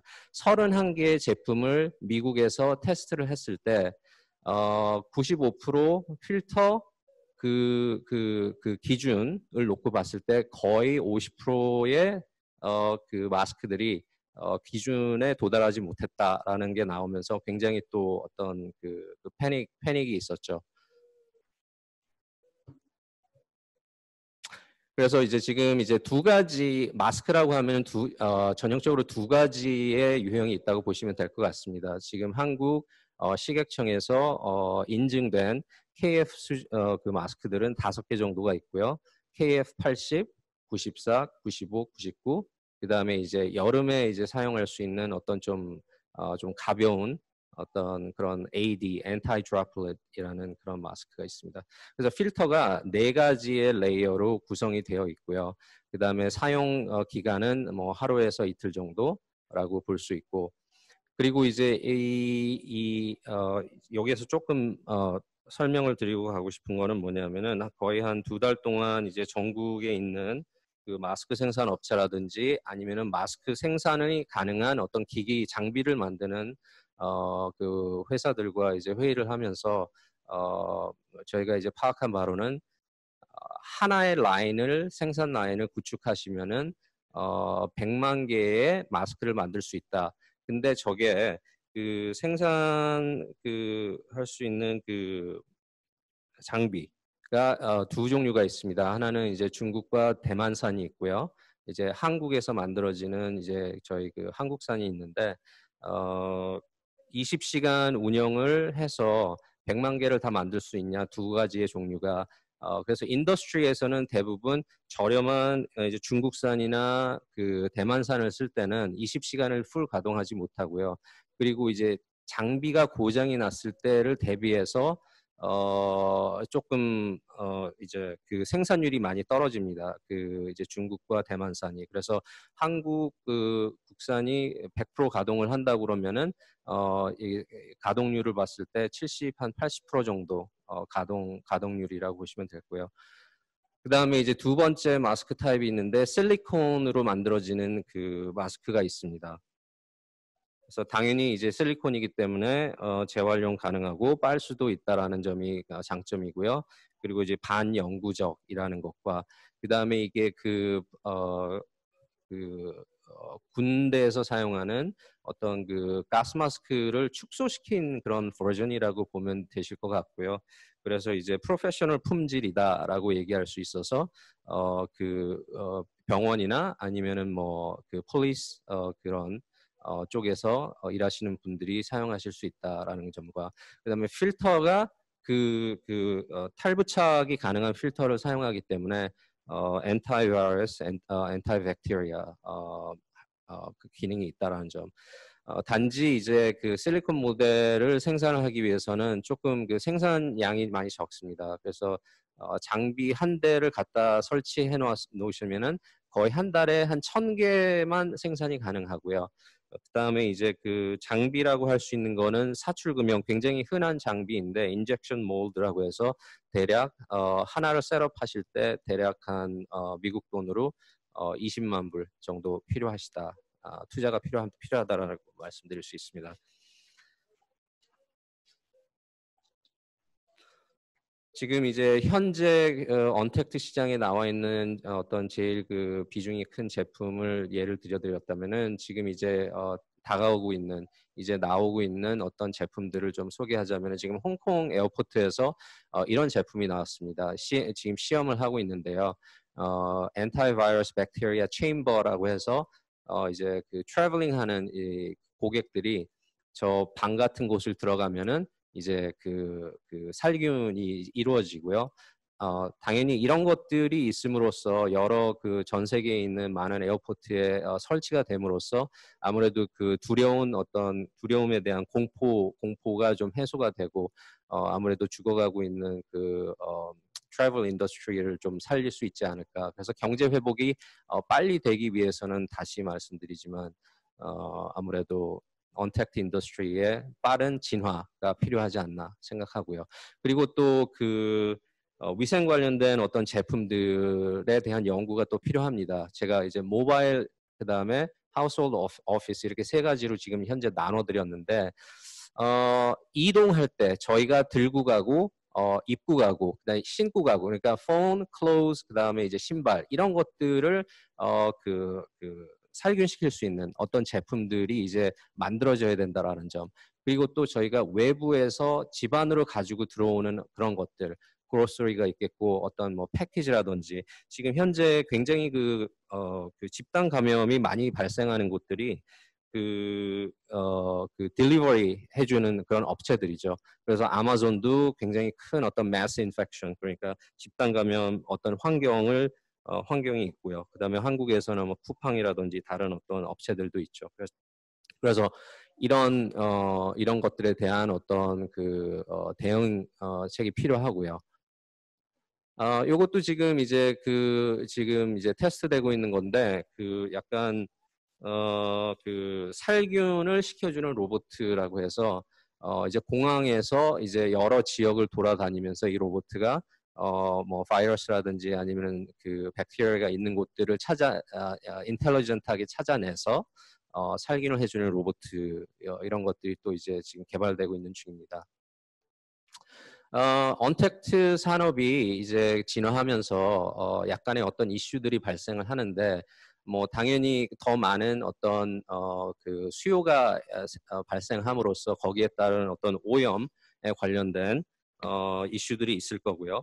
그래서 아무래도 마스크가 지금 굉장히 그 문제가 되고 있는 것이 그 사용되고 있는 그 텍스타일 그, 어, 그 섬유에서 프로 어, 팔리프로필린이라는 어, 그, 그 화학성 어, 그런 어, 내용물이 있는데 이게 그 전 세계 오염의 거의 15%를 차지하는 그 내용물이기 때문에 조금 저희가 그러기 때문에 더 잘 디자인이 된 제품을 만들어서 waste를 줄여 나가는 것이 굉장히 중요할 것 같고요.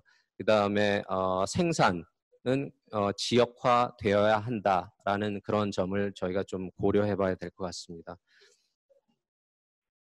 그래서 어, 이 저희들이 생각하는 이런 어떤 코로나 바이러스가 굉장히 어떤 의학적인 어, 이런 문제이기도 하지만 어, 실질적으로 이 문제를 누가 다루어야 하느냐는 어, 제 생각과 많은 그 전문가들의 생각은 이 문제는 디자이너와 그리고 엔지니어들의 어, 그 엔지니어들이 어, 해결해야 되는 문제다라고 어, 저희들은 인식하고 있고요. 어, 그리고 이제 그 R&D와 그 다음에 생산 베이스가 지역적으로 이제 만들어지는 시기 위해서는 어, NGO와 그 다음에 이제 중앙 정부의 어떤 그 투자와 관심이 있어야 된다라고 말씀드릴 수 있을 것 같습니다. 그래서 이제 어, 오늘 제가 드린 말씀을 어, 총 정리하자면은 팬데믹은 지속된다. 어, 많은 분들이 빨리 끝내기를 바라고는 있지만 늘 항상 있었고 팬데믹이라는 것은 그리고 코비드 19 같은 경우는 백신이 지금 이제 개발되고 있는 상황이기 때문에 이게 1년, 2년 그거보다 더 오래 갈 수 있다라는 거. 어, 하지만 경제적인 회복은 저희가 언택트 산업이 더 빨리 어, 진화함으로써 어, 그 경제 회복도 더 빨리 이제 이루어질 수 있다라는 점과 그 다음에 투자와 그 다음에 이제 생산은 지역화돼야 된다라는 점 그리고 이제 어, 거기에 따른 어떤 그 어, 어, 통제, 그러니까 음, 감독이 필요하죠. 그래서 이제 그 웨이스트라든지 폴루션 이슈가 발생하지 않도록 어, 이제 통제하는 것이 매우 중요하겠습니다. 네, 감사합니다. Muchas gracias, señor Lee. Él introdujo a nosotros sobre nuevos productos que se necesitan para vivir en la época de COVID-19. Él sugirió algunos productos como mascarillas y otros equipos que se necesitan en este momento. Uh, pienso que él está sugiriendo algunas iniciativas de inversión en América Latina. Eh, yo voy a preguntar algunas preguntas a ellos durante la, uh, el tiempo de Q&A.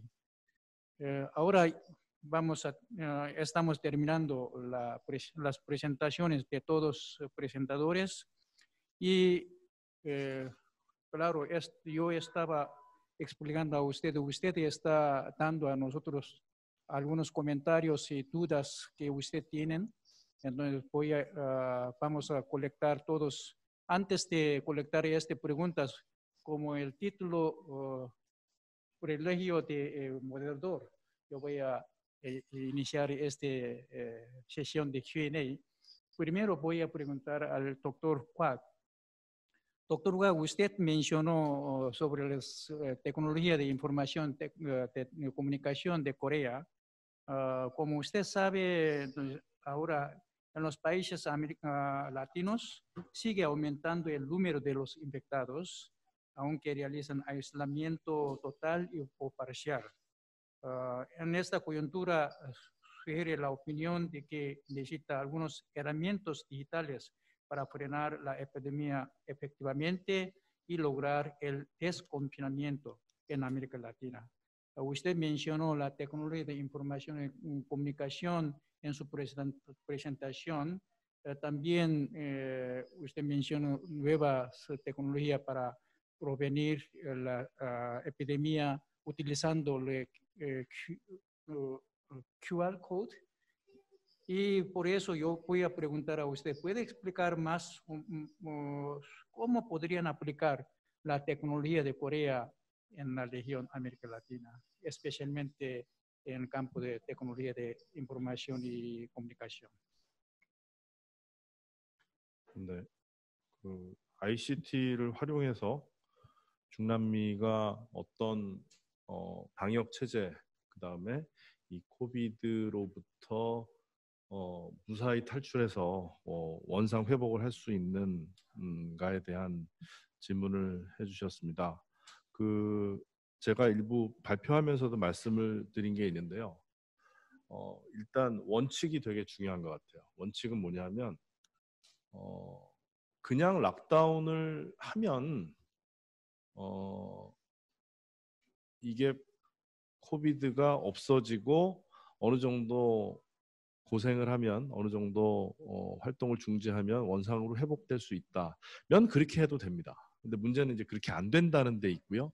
그 상황이 중남미는 더 심각한 상황이라는 거죠. 왜냐하면 락다운을 할 경우에 에, 어, 예를 들어서 저소득층 같은 경우 지금 반 정도로 보고 있는데 중남미의 저소득층 같은 경우에는 그날 그날 경제 활동을 하지 않으면 어, 매우 생활이 힘들어지는 쉽게 말하면 먹고 살기 힘들어지는 이런 상황이 온다는데 딜레마가 있는 것 같아요. 그래서 이완된 그 생활을 유지하면서 그 코비드를 관리할 필요가 있는 건데 결국은 핵심은 ICT밖에 없는 것 같습니다. 그러니까 어느 정도 사회적 거리 두기를 하면서 이 적절한 방식으로 관리하는 이런 한국형 K 방역이 중남미에 이제 매우 중요하다고 이제 생각이 됩니다. 그래서 뭐 화상회의 등을 활용한 원격 근무라든가 원격 교육 시스템이라든가 이커머스를 활용한 이런 것들 그리고 모바일을 활용한 거래 에, 등등은 결국은 ICT 백본 없이는 이루어지기 어려운 건데요. 어, 인프라의 중요성은 이미 말씀드렸지만 다시 한번 강조하고 싶은 것은 지금 있는 인프라가 바로 업그레이드 되지는 않습니다. 아, 그런데 그 지금 있는 인프라 상에서도 어, 적절한 음, 방식으로 어, 효율성을 그 다음에 선택과 집중을 한다면 충분히 이 ICT를 활용한 방역과 어, 대응이 중남미에서도 가능하다라고 생각을 하거든요. 그러니까 고도화된 뭔가를 지금부터 디자인을 하지 말고 있는 범위 내에서 어, 정부 대 정부가 관리할 수 있는 공공 데이터 이것들을 어떻게 이제 민간에 쉐어할 수 있을 것인가. 그리고 민간의 혁신 역량을 동원해서 그 적절한 방식으로 어, 어, 앱을 활용한다거나 이걸 개발한다거나 어, 하는 등의 활동들이 많이 이루어져야 되지 않을까. 즉 그런데 일단은 그 트리거는 정부가 갖고 있는 것 같아요. 정부가 어, 정책 수단을 동원해서 민간의 혁신 역량을 동원할 수 있는 이 자리를 만드는 게 되게 중요하다고 그 생각을 그 하고요. 어, 그 다음에 이제 각종 보건 음, 역량, 그 다음에 확산을 억제하는 그 이런 등에 대한 어, 대응 측면에서 어, ICT를 어떻게 접목할 것인가는 전문가들의 손에 한번 맡겨두고 어, 그 수요를 한번 파악해 보는 게 어떨까. 예를 들면 보건의료 분야에서의 ICT 접목 같은 이런 내용들은 각 국이 가지고 있는 이런 상황, 구체적인 상황하고도 매우 밀접한 관계가 있는 것 같습니다. 네, 이 정도로 말씀드리겠습니다. Eh, muchas gracias. Ahora ah, voy a ah, dirigirme eh, la pregunta al doctor Sung Kim. Ah, Sung Kim, ¿usted puede, está escuchando? Ah, entiendo que eh, ALTE. PCA de Corea fue aprobada en febrero pasado como un de estándar internacional por el Comité Técnico ah, de la Organización Internacional de Normalización. Además, se prevé que se convertirá en el estándar internacional dentro de este año, una vez que los países miembros de dicha organización culminen su proceso de aprobación final. Quisiera preguntar respecto a la aprobación de la organización. ¿Por qué la aprobación como estándar internacional es tan importante para los reactivos del diagnóstico? Y también, ¿cuáles serán los efectos de la aprobación en el mercado global de kits del diagnóstico? ¿Entendió bien mi pregunta? 예, 그 어떤 질문이 좀 복잡하긴 한데 사실 이제 real-time PCR이라고 하는 것은 아, 이미 한 1980년대, 1980년 중반에 이런 기술이 처음 개발되고 이 기술에 대해서는 아, 지난 한 30, 3, 40년 동안에 굉장히 안정화된 기술입니다. 근데 이제 이 기술을 아, 이제 질병 이제 어떤 측정, 질병 진단에 어떻게 쓰이는가 네, 거기에서 사용 방법들이 이제 차이가 많이 났습니다. 그래서 사람들이 여태까지 가져온 기술들은 아까 말씀드렸듯이 아, 시간이 오래 걸리고 큰 장비를 쓰고 또 비싸게 하고 또 전문가들 손에 의해서 움직이고 이제 이것이 그 사용이 굉장히 그 제한됐습니다. 즉 실험실 같은 그 centralize된 장소에서만 쓰이던 것을 이제 전 세계의 흐름은 그 현장 가서 쓸 수 있도록 하자. 그래서 그렇게 하려면 일단 첫째 반응을 굉장히 빠르게 해야 된다. 둘째, 아, 이것을 소형화시켜 가지고 어, 어디든지 portable로 들고 갈 수 있어야 된다. 또 그다음에 가격이 싸서 그 주로 주로 이제 그 어떤 저소득층 국가들, developing country에서 쓸 수 있는데 그다음에 대도시야 뭐 항상 병원들이 있으니까 괜찮지만 그 지역에서 어떻게 간편하게 쓸 수 없을까? 그래서 여기다가 이제 또 무선 통신 시스템을 이렇게 달아준다 그러면은 의사하고 빨리빨리 커뮤니케이션 하겠다. 이것이 굉장한 그 사회적인 리드로 어 이제 왔습니다. 근데 그거 그런 기술들을 누가 가장 먼저 만들어서 가장 이제 빨리 이제 적용시키느냐. 이게 이제 전 세계적으로 늘 경쟁이 되어 왔습니다. 근데 이제 그, 그 중에 그러면 이제 뭐 이론적으로는 너무 간단한데 니들도 다 하는데 기술을 어떻게 끌어올 것이냐. 근데 저희들이 좀 럭키하게 그 머티리얼을 이런 플라스틱 한 번 쓰고 버리는 플라스틱 머티리얼을 써가지고 이런 기술을 어, 완성을 했습니다. 그래서 이 기술 가지고 어, 전 세계 선진국 한 17개국의 특허를 등록시키고 이걸 가지고 지금 코로나 바이러스에 적용해서 국내에서는 지금 이제 정부에서도 어, 긴급 사용 허가를 아마 저희들과 아마 다음 주 정도 내줄 것 같습니다. 지금 이제 보안 요청이 왔고 그것을 이제 우리가 그 보완해가지고 벌써 접수를 했고 또 미국 FDA에서는 이제 저희들 거를 이제 그 판매 허가를 아마 이번 주에 내줄 것 같습니다. 그래서 그 허가라고 하는 것은 아 이제 완전히 허가 내주기 전에 그 notification 그 리스트에다 넣어주는 건데 거기 들어가게 되면 저희들이 이제 미국을 포함해서 전 세계에 파는데 훨씬 도움이 됩니다. 그래서 그런 기준들은 아, 어떤 정부에서 미국이라든지 혹은 WHO라든지 혹은 한국 정부 어떤 CDC 질병관리본부 이런 데서 이런 기준에 맞으면 우리가 너희들 상용화시키고 병원에서 쓴다든지 현장에 쓸 수 있게끔 허락해주겠다는 그 기준을 어, 저희들이 대한민국 제품으로서는 어, 이제 가장 앞서고 또 전 세계적으로도 이제 가장 요 기술에서 앞선 파트에서 저희들이 나온 것 같습니다. 이걸 가지고 저희들이 먼저 시장에서 값싸고 빠르고 어, 어떤 그 현장에 쓸 수 있는 수용화된 장비로 또 무선 통신까지 연결해서 쓰는 이것을 먼저 시장을 선점하게 되면 그것이 이제 표준화입니다. 그래서 저희가 아마 이런 표준을 이제 끌어가지 않을까 이렇게 생각하고 있습니다. 그러나 표준화라는 것은 이제 질문 내용은 아마 한국 정부에서 표준화시킨 것이 전 세계에서 봐드리면은 굉장히 우리가 리딩하니까 좋다 이런 관점도 있는데 그 표준화라는 건 대부분이 먼저 개발한 회사에서 먼저 개발한 나라에서 쓰면은 그냥 그 표준화가 되어 버립니다. 이 기술은 저희들이 먼저 앞섰기 때문에 저희들 그 어떤 표준화에 좀 그 유리한 점을 가졌다 이렇게 보겠습니다. Muchas gracias. Ahora quisiera preguntar al doctor James Chung.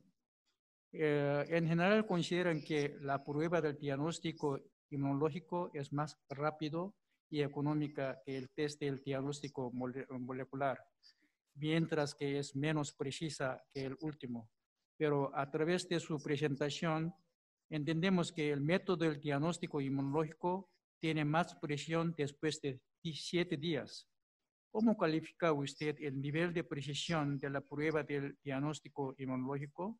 Y quiero preguntarle cuántos y qué países en el mundo está utilizando el prueba del diagnóstico inmunológico para detectar el coronavirus.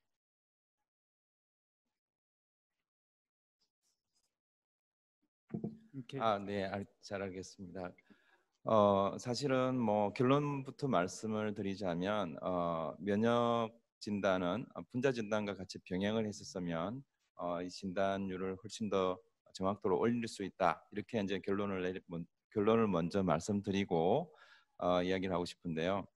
사실 그 항체 진단인 경우에는 사람이 감염이 되고 한 5일, 6일이 지나야만이 항체가 형성이 되기 때문에 어, 정확도는 사실 7일 이후부터 상당히 높아지고 있는 그런 상황입니다. 이- 이미 말씀드렸듯이 그렇지만 이제 또 분자 진단인 경우에는 바이러스가 또 그 사람의 몸에 있어야만이 많이 있어야만이 진단이 또 되기 때문에 항체가 몸에서 생기기 시작한 시점으로부터 분자 진단의 이제 어떤 검출률은 또 떨어지게 됩니다. 그래서 결국은 어, 두 방법이 서로 병행을 하면 가장 좋은 그런 어, 이상적인 진단법이 되지 않을까 이렇게 생각을 하고 있고요.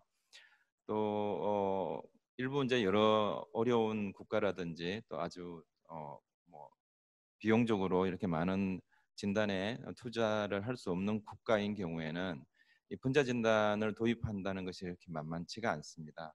그런 경우에는 어, 초기에도 그 항원 진단을 할 수 있는 어, 그런 면역 진단법을 쓰게 되면 어, 뭐 비록 한 저희 실험 결과로는 한 80% 이상 뭐 정도의 어, 정확도가 나왔지만 어, 충분히 어, 그 시장에 서든 아니면 진료에서 진료 기관에서든 어, 사용이 가능할 수 있지, 있지 않을까 이렇게 생각을 합니다.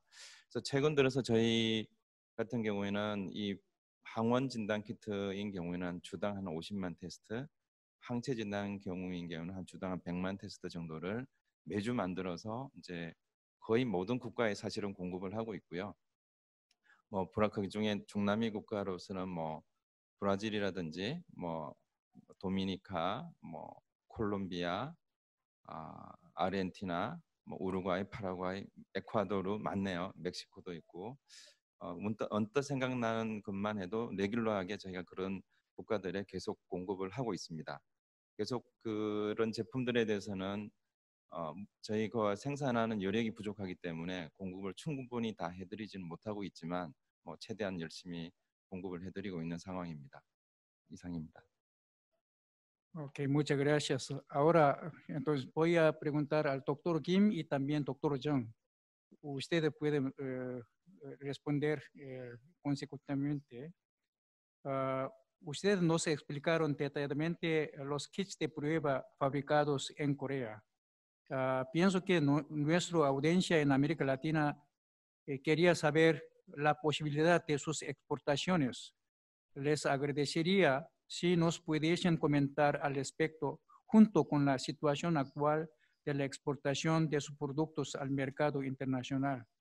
A mi entendimiento, doctor ha explicado un poco durante su respuesta anterior, Ah, pero algunos opinan que es complicado importarlos porque normalmente las empresas coreanas imponen condiciones exigentes en cuanto a la cantidad mínima de las exportaciones. ¿Qué piensan ustedes sobre ese asunto?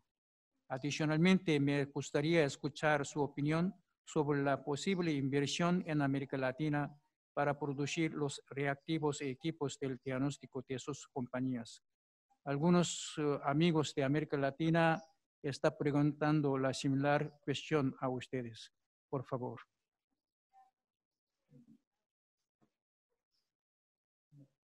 아,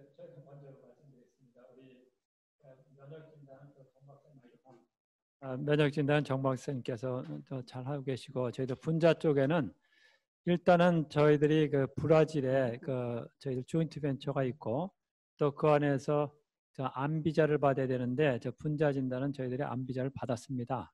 그래서 이제 브라질 수출하는데 문제가 없고 또 중남미의 경우에는 이제 많은 경우가 미국 FDA 아그저 그 영향을 많이 받고 있기 때문에 아마 이번 주 그러니까 다음 주부터는 저희들이 미국 FDA에서 아, 긴급 사용 허가를 그러니까 판매를 어, 허용이 되게 되면은 그러면 중남미에도 파는데 큰 문제가 없, 지 않나 싶고 또 세 번째로는 저희들이 유럽 인증이라는 걸 가지고 있기 때문에 아, 그 파는 데는 이제 그 수출하는 데 문제 없을 것으로 이렇게 보입니다.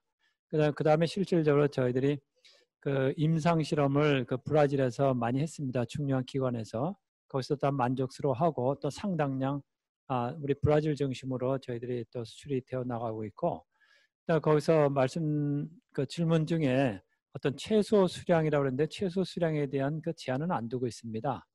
그리고 이제 저희들이 아, 이제 브라질에 브라질 하나만 해도 엄청나게 큰 나라인데 에, 그 많은 그 중남미 국가 들어가려고 그러면은 거기는 같이 협력 체제가 엄청 필요합니다. 그래서 저희들은 그 지금 사실 그 브라질에도 지금 생산 공장을 좀 만들고 있고 그 어디든지 영업이라든지 저희들과 협력할 수 있는 부분이 있다면 저희들은 언제든지 웰컴입니다.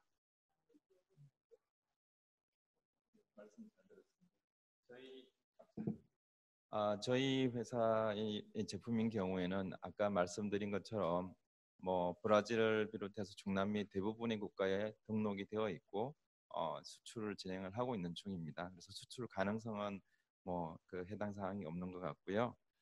그 최소 수입 물량에 대해서는 저희가 요즘은 뭐 코로나 19 때문에 그 물류가 그렇게 원활치 않습니다. 그래서 어, 한국에서 생산을 해서 어, 현지까지 이렇게 움직이려면 물류 비용이 상당히 드는데 어, 그런 그런 물류 비용이라든지 이런 걸 감안을 해서 최소한 뭐 예를 들 예를 들어 최소 만 테스트 이상 이렇게 구매를 해야만이 그 물류 비용이 그 진단 진단 키트의 어떤 가격을 커버를 할 수 있거든요. 그래서 저희는 한 만 테스트 이상을 이렇게 고집을 하고 있는 부분이고요.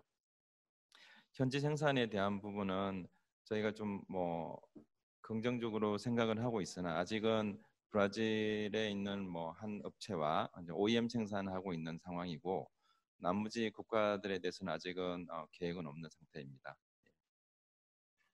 Ok, muchas gracias por su contestación. Y ahora mi pregunta va al señor Timothy Lee. Uh, para materializar el ingreso de la empresa coreana tales como las que se podrían producir más crías en América Latina, necesitamos coordinación íntima con los países que tendrán interés. Necesitamos coordinar asuntos pendientes tales como financiar la conducción de fábrica, asegurar terrenos para fábricas y llevar la máquina necesaria. ¿Puede visualizar un poco su idea? ¿Cómo quiere seguir adelante el modelo de cooperación con los posibles contrapartes en América Latina. También le agradecería si nos contara cuáles serían posibles medidas del parte de América Latina. Asimismo, creo que el papel del gobierno es muy importante para construir instalaciones productivas. Al respecto, ¿qué espera usted de los gobiernos latinoamericanos?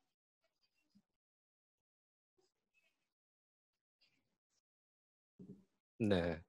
어, 우선 어, 마스크가 지금 굉장히 그 공급량이 부족하다라는 거는 현지에 있는 우리 그 어, 뭐 지인들을 통해서 많이 지금 듣고 있고요. 근데 이제 마스크 생산이 이게 어려운 어, 그 일은 아닙니다. 어, 예를 들어서 그 아까 생산 라인 하나를 구축을 하면은 100만 개의 마스크를 한 달에 만들 수 있다라고 말씀드렸는데 그러면은 이제 대략 한 10개 정도의 라인을 만들면은 어, 중미 지역이 지금 어, 한 5천만 정도 지금 인구가 되는 걸로 알고 있는데 어, 어 굉장히 많은 어떤 부분을 해소해 줄 수 있다. 마스크를 공급하는 그런 부분 어려움을 해소해 줄 수 있다라고 말씀드릴 수 있고요.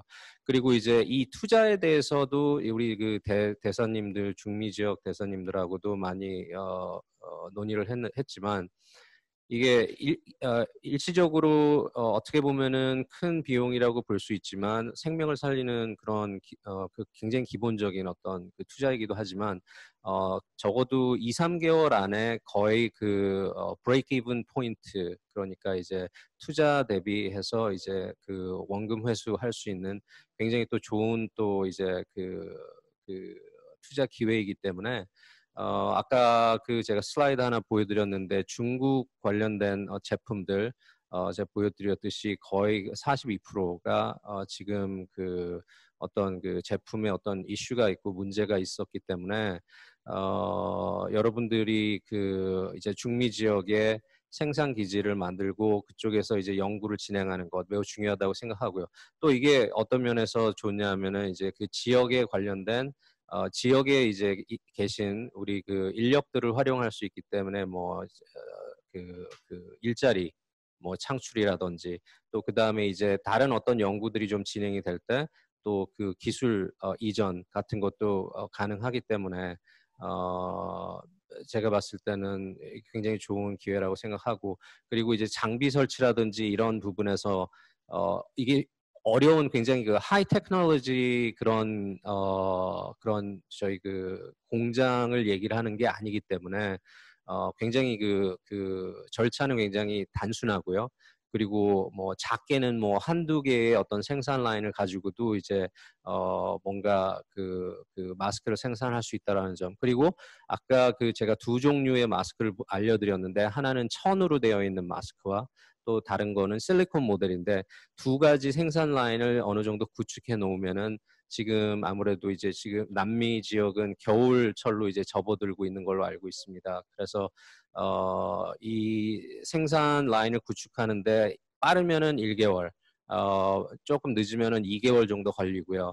지금 생산을 마스크 생산할 수 있는 장비가 어, 굉장히 지금 주문이 많이 들어와 있지만 만약에 국가적인 차원에서 이거를 주문을 하신다 그러면은 어, 한국산으로 해서 어, 우선순위를 둬서 어, 그 장비를 또 어, 마련해 드릴 수 있기 때문에 어, 한번 음, 이게 이 어렵진 않다. 그리고 여러 면에서 어, 사람들의 생명을 살리고 일차적으로 어, 감염된 음, 분들에 대해서는 어떤 그 방법은 없지만 어, 제일 좋은 방법은 어, 감염을 일차적으로 막는 것이 제일 중요하기 때문에 어, 마스크의 역할은 매우 어, 중요하다. 하지만 또 마스크라는 것이 진화해야 된다라는 점도 제가 꼭 말씀드려요. 왜 연구가 필요하느냐. 마스크 8시간 써보신 분들은 아시다시피 귀가 굉장히 아프고요. 그 다음에 그 어떤 오염에 관련된 어떤 그, 그, 그런 이슈도 지금 있고요. 그 다음에 이제 어 그 마스크를 쓰고 실질적으로 대면으로 회의를 하기가 굉장히 어렵습니다. 왜냐하면 목소리가 잘 들리지 않고요, 웅웅거리고 이러기 때문에 그 어떤 연구들이 그러니까 디자인적인 연구들이 일어나야 된다라는 거를 그러니까 지금 이제 이 코로나 바이러스에 너무 그 의학적인 어떤 그, 그 거기에 포커스가 지금 가 있기 때문에 어 실질적으로 언택트 산업에 제일 그 어떤 그 질, 질병 예방하기 위해서 필요한 어떤 그런 제품들에 대한 연구가 어, 실질적으로 지금 굉장히 이루어지지 않고 있다라는 점이 안타깝고 어, 최선의 최선의 그, 그 공격 그러니까 베스트 오펜스는 어, 디펜스라고 생각하는데 어, 방어를 하기 위해서는 제품 개발 그다음에 생산 어, 지역화 시키는 것이 매우 중요하다라고 다시 한번 꼭 말씀드리고 싶습니다. Muchas gracias. Hubo varias uh, preguntas de los amigos en América Latina, uh, pero muchas preguntas se está duplicando que yo uh, hizo anteriormente. yo escojo tres preguntas dentro de las preguntas de amigos de América Latina. Primero, el pregunta de Ecuador, eh, este Genesis Molina. Yo voy a leer su uh, pregunta. Según la experiencia de Corea, ¿cuál sería el peso de cada una uh, de las variables, uh, es decir, test, trazabilidad y tratamiento para enfrentar la pandemia del COVID-19? Creo que doctor Kwak podría contestar a esta cuestión. 예, 감사합니다. 그 빼소를 숫자로 제가 대답하기를 기대하시는 질문은 아닌 것 같아요. 네. 20%, 30%, 50% 이렇게 얘기할 수는 없으니까. 그런데 이게 갖는 의미가 굉장히 크기 때문에 제가 테스트와 tracing과 treatment가 어떤 유기적인 관계, 특히 COVID 상황에서 이게 왜 얼마나 중요한지를 말씀을 드릴게요. 이 바이러스의 특징상 백신이 나올 확률이 그렇게 크지 않은 것 같습니다. 최소한 단기간에는. 그리고 이 세상의 감염병이요. 실제로 실효적인 백신이 있는 감염병이 많이 없습니다. 이 모든 문제 여기서 시작하는 거죠. 그러면 차선책은 뭐냐 하면 빨리 환자를 확진해서 퍼지는 걸 막고 치료를 해야 된다는 거죠. 그러니까 그쪽에 이제 방점을 두니까 모든 것의 시작은 테스트다. 테스트를 하지 않고는 어, 배길 수 없는 상황이고요. 집단 면역을 얘기하기도 합니다만은 그것에 대한 실효성은 검증된 바 없다. 자, 그러면 테스트를 해요. 테스트를 하면 그 다음에 따라오는 게 tracing입니다. 더 이상 확산되지 않게 하기 위해서 이게 하나의 branch고요. 그 다음에 또 하나의 branch는 테스트를 하면 그 다음에 treatment죠. 치료를 하는 거죠. 그래서 이 삼각 체제로 이 감염병 코로나를 관리해 나가야 한다는 거죠 앞으로. 어 그래서 일단 mass test가 중요하고 감염을 줄이는 게 중요하고 그 사람들을 잘 치료하고 관리하는 게 중요합니다. 그래서 실제로 백신보다는 치료제가 나올 확률이 더 많고 치료제도 100%다 되는 치료제가 금방 나오진 않을 겁니다. 그래서 에이즈 치료제가 30년 만에 하나하나 하나 해서 조금씩 나왔듯이 그런 식으로 어, 일부 일부 일부 상황에 맞춘 치료제가 나올 확률이 많다. 그러니까 이건 상황 관리 역량이 되게 중요하다. 따라서 중남미 국가들도 모든 정책 수단을 동원해서 상황 관리를 해야 되는 시점이 이제 온 것 같습니다. 예. Uh, muchas gracias. Uh, ahora hay otra pregunta de Bolivia y Ecuador. Bolivia, Bolivia. Uh, esta pregunta dirigida al señor Kim de Bio, o Mico Biomed. ¿Es posible que usted Bio o Mico Biomed tengan unos equipos que procesan más test a la vez? Como los equipos conveni- convencionales procesan hasta eh, 96 pruebas a, la vez. Ustedes con su plataforma están procesando 10 pruebas a la, vez? Esta pregunta primero. Y segundo es, uh, yo pienso que doctor Kim ha contestado anteriormente, pero eh, hay otras preguntas, eh, hoy similar preguntas de parte de Bolivia. ¿Podrían preguntar, por favor, si Bio, eh, Mico Biomed tiene una cantidad mínima de venta de test?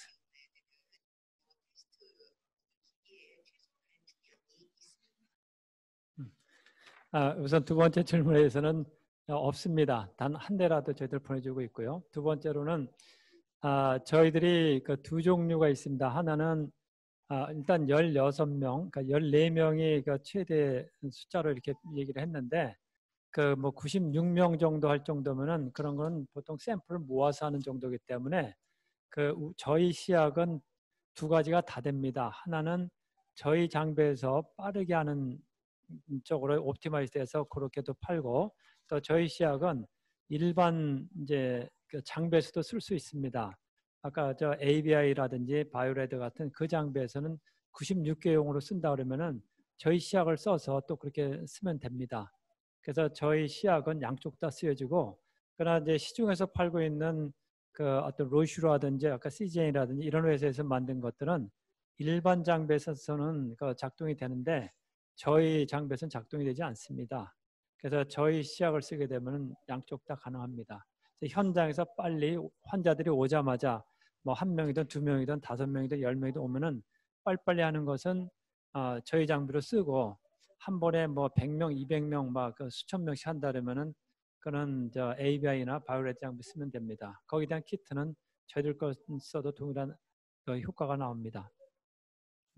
es, es la última ah, pregunta. Pienso que sería muy difícil para contestarlo, ¿no? En el caso de Corea, ¿están produciendo algún tipo de vacuna para el COVID-19? ¿Quién puede ah, contestar?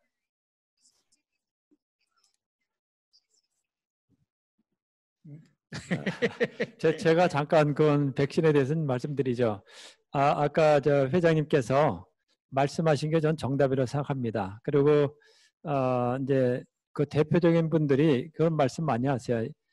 일단 그 이제 우리가 저기 폴리오 같은 경우는 뭐 평생 그 면역력을 갖고 있지만 그러나 실제 이 flu 같은 경우는 6개월 이상 못 갑니다. 근데 그 이유 중에 하나가 그 돌연변이 때문입니다. 그래서 mutation이 많이 생기는데 특히 이번 코로나 바이러스 같은 경우는 mutation이 엄청 잘 일어나는 겁니다. 그래서 얘네들이 계속 돌연변이가 일어나니까 거기에 딱 맞는 그 백신 개발한다는 것이 아주 쉬운 일이 아닐 겁니다. 그래서 여기에 대해서는 아마 우리 정 박사님께서 더 할 말이 있으시겠지만 그냥 상식적으로 생각해도 그 빨리 만들어지지는 않을 것 같고 만들어지더라도 그 오래 가는 그 백신 못 만든다고 봅니다. Muchas gracias. Eh, Hemos eh, tenido bastante tiempo para discutir entre nosotros. Ah, ahora es el tiempo de terminar nuestra sesión de webinar. Ah, hoy hemos revisado las oportunidades de negocios entre Corea y América Latina como unas medidas conjuntas para superar la crisis de, eh, de COVID-19. Estoy convencido de que este webinar nos permitió entender el modelo coreano para enfrentar el COVID-19 a través de la explicación del doctor Kwak. Y también podíamos confirmar tanto el gobierno coreano como los empresarios coreanos tienen voluntad de co- compartir sus know-how y experiencias con otros países, especialmente en América Latina. Además, esta, opor- esta oportunidad nos sirvió para pensar cómo podríamos superar la crisis de- del COVID-19 al cooperar juntos entre los funcionarios públicos y los empresarios de ambas partes. Sin embargo, el tiempo no era suficiente para concretar eh, la cooperación. Más bien, creo que este seminario nos sirvió de un punto de partida para nuestra cooperación en el futuro. Nuestro consejo desea seguir jugando un rol de puente para la cooperación y colaboración entre las empresas coreanas y sus socios América Latinas. Los amigos de América Latina que quieran cooperar con Corea pueden contactar a nuestro correo principal main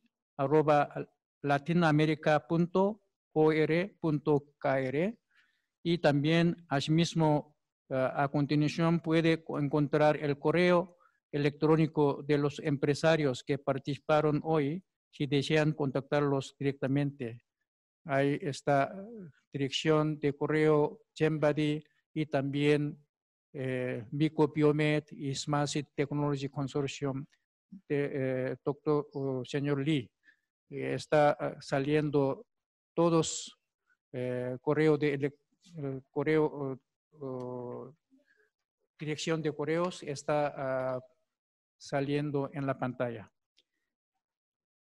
Eh, ahora es el tiempo de cerrar este webinar. Antes de cerrar, quisiera expresar mi agradecimiento otra vez a los cuatro ponentes quienes participaron hoy. Mi agradecimiento profundo también va dirigido a los amigos en América Latina, quienes nos acompa- acompañaron desde lejos a esta hora tardía. Espero que podamos co- encontrarnos de nuevo en otra ocasión y les deseo salud y felicidad. Muchas gracias. Hasta luego.